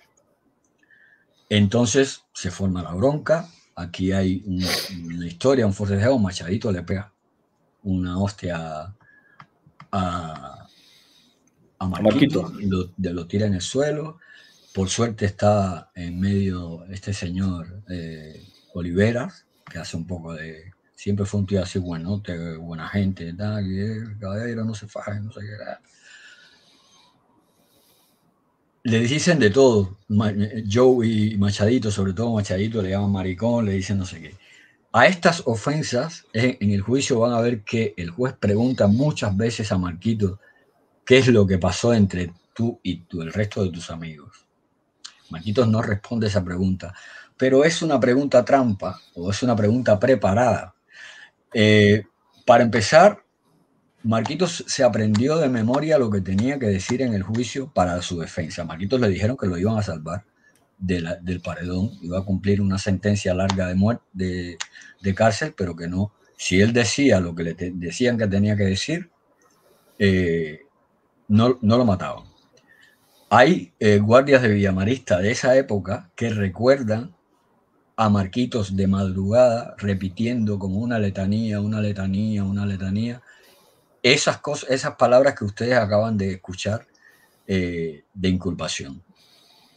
Para, para, no decir que, además eh, acudió allí, bueno, pues con el suero de la verdad, con el pentotal, que ya se lo estaban suministrando un tiempo antes pero nunca dijo qué es lo que pasaba ahí. Era una pregunta que mm, había que hacer. Evidentemente el, fiscal sabía que es una pregunta que tenía que hacer porque eh, se había filtrado ya que había habido problemas entre ellos, pero que no convenía que Marquitos respondiera. Porque si Marquitos mm, blanqueaba lo que estaba sucediendo ahí, eh, iba a salir todo el escándalo del mariconeo de los Exacto. Entonces, fíjense qué complicado fue este juicio de llevar. Además, el juicio, Marquitos tuvo un abogado defensor que era como para meterle galletas hasta. Era como el fiscal, era como el propio fiscal casi. era, peor que el fiscal. O sea, no se pueden imaginar lo que fue aquel hombre. Por ahí tenemos su voz también eh, hablando y yo después contaré lo que pasó con este tipo. Bueno, eh, esas son las ofensas sobre las que una y otra vez le preguntaban a Marcos en el juicio, que se negó a responder con claridad como estaba previsto, y tampoco mm, revelará nada a la novia de Joe, no le dice nada a Dizzy Gira de, esto. De hecho, Marquitos era súper amigo de Dizzy Gira. A, ellos tenían un grupo de teatro y Marquitos era miembro del grupo de teatro de Dizzy. Y entonces los cinco hombres les piden que se marchen, eh, o sea, eh, Oliveras y los otros cuatro mártires de Humboldt 7 después, le dicen que por favor Olivera llévate a Maquito de aquí y le hacen jurar de que lo que ha pasado en esa casa nunca se sabrá. Y no, no iba a salir nunca más de esas cuatro paredes. Bueno, García Oliveras tampoco contó nunca nada de esto. Eh, después fue comandante de la FARC, este señor que acaban de ver, viejito. Mucho, mucho menos iba a contar. Imagínate. Entonces, eh, mejor blanquear a un maricón traidor que sacar del armario a dos combatientes heterosexuales de importancia en el directorio. O sea que ahí estaba clarísimo que aquello pues, tenía que quedarse súper eh, en silencio. Charlie, dime. Eh, vamos a cortarla aquí. Cortamos aquí. Sí. Cortamos aquí. Este es un buen sitio para cortar. Sí, porque ahora ya lo que viene delante es como otra etapa de este proceso. Sí, sí, porque ahora empieza, ahora empieza la, huida de Marquitos y otra, y otra historia totalmente nueva que es totalmente alucinante también, es digna de una película. Eh, vamos a dejarlo aquí. ¿No te, han, ¿No te han dejado el enlace de nuestra comparecencia televisiva? No me lo han dejado, pero por favor me encantaría si alguien, si alguien puede ver lo que publicaron en Telesur eh, relacionado con este a o a mí. Sí, y que, me gustaría verlo y después, oye, eso hay que comentarlo, porque si sale de eso hay que hacer una directa. No, no, claro, claro, claro. Eso, sí, sí, yo salgo en Telesur contigo, esto tenemos que, porque además yo soy, yo soy eh, el, macho heterosexual que no puede participar en debates feministas. esto, esto le va a caer a Tania como una Esto no tiene nombre, Charlie, esto es complicado de entender, ¿eh? O sea, nosotros dos saliendo juntos eh, eh, eh, en, la televisión internacional, esto ya es. no sé qué, qué, consecuencias traiga esto para. Dice, dice Mario Martínez que lo puso. Mario, no, no lo he visto, Mario. Mira, por favor, si puedes envíamelo por email a este email que voy a poner aquí. A ver, espera, mira.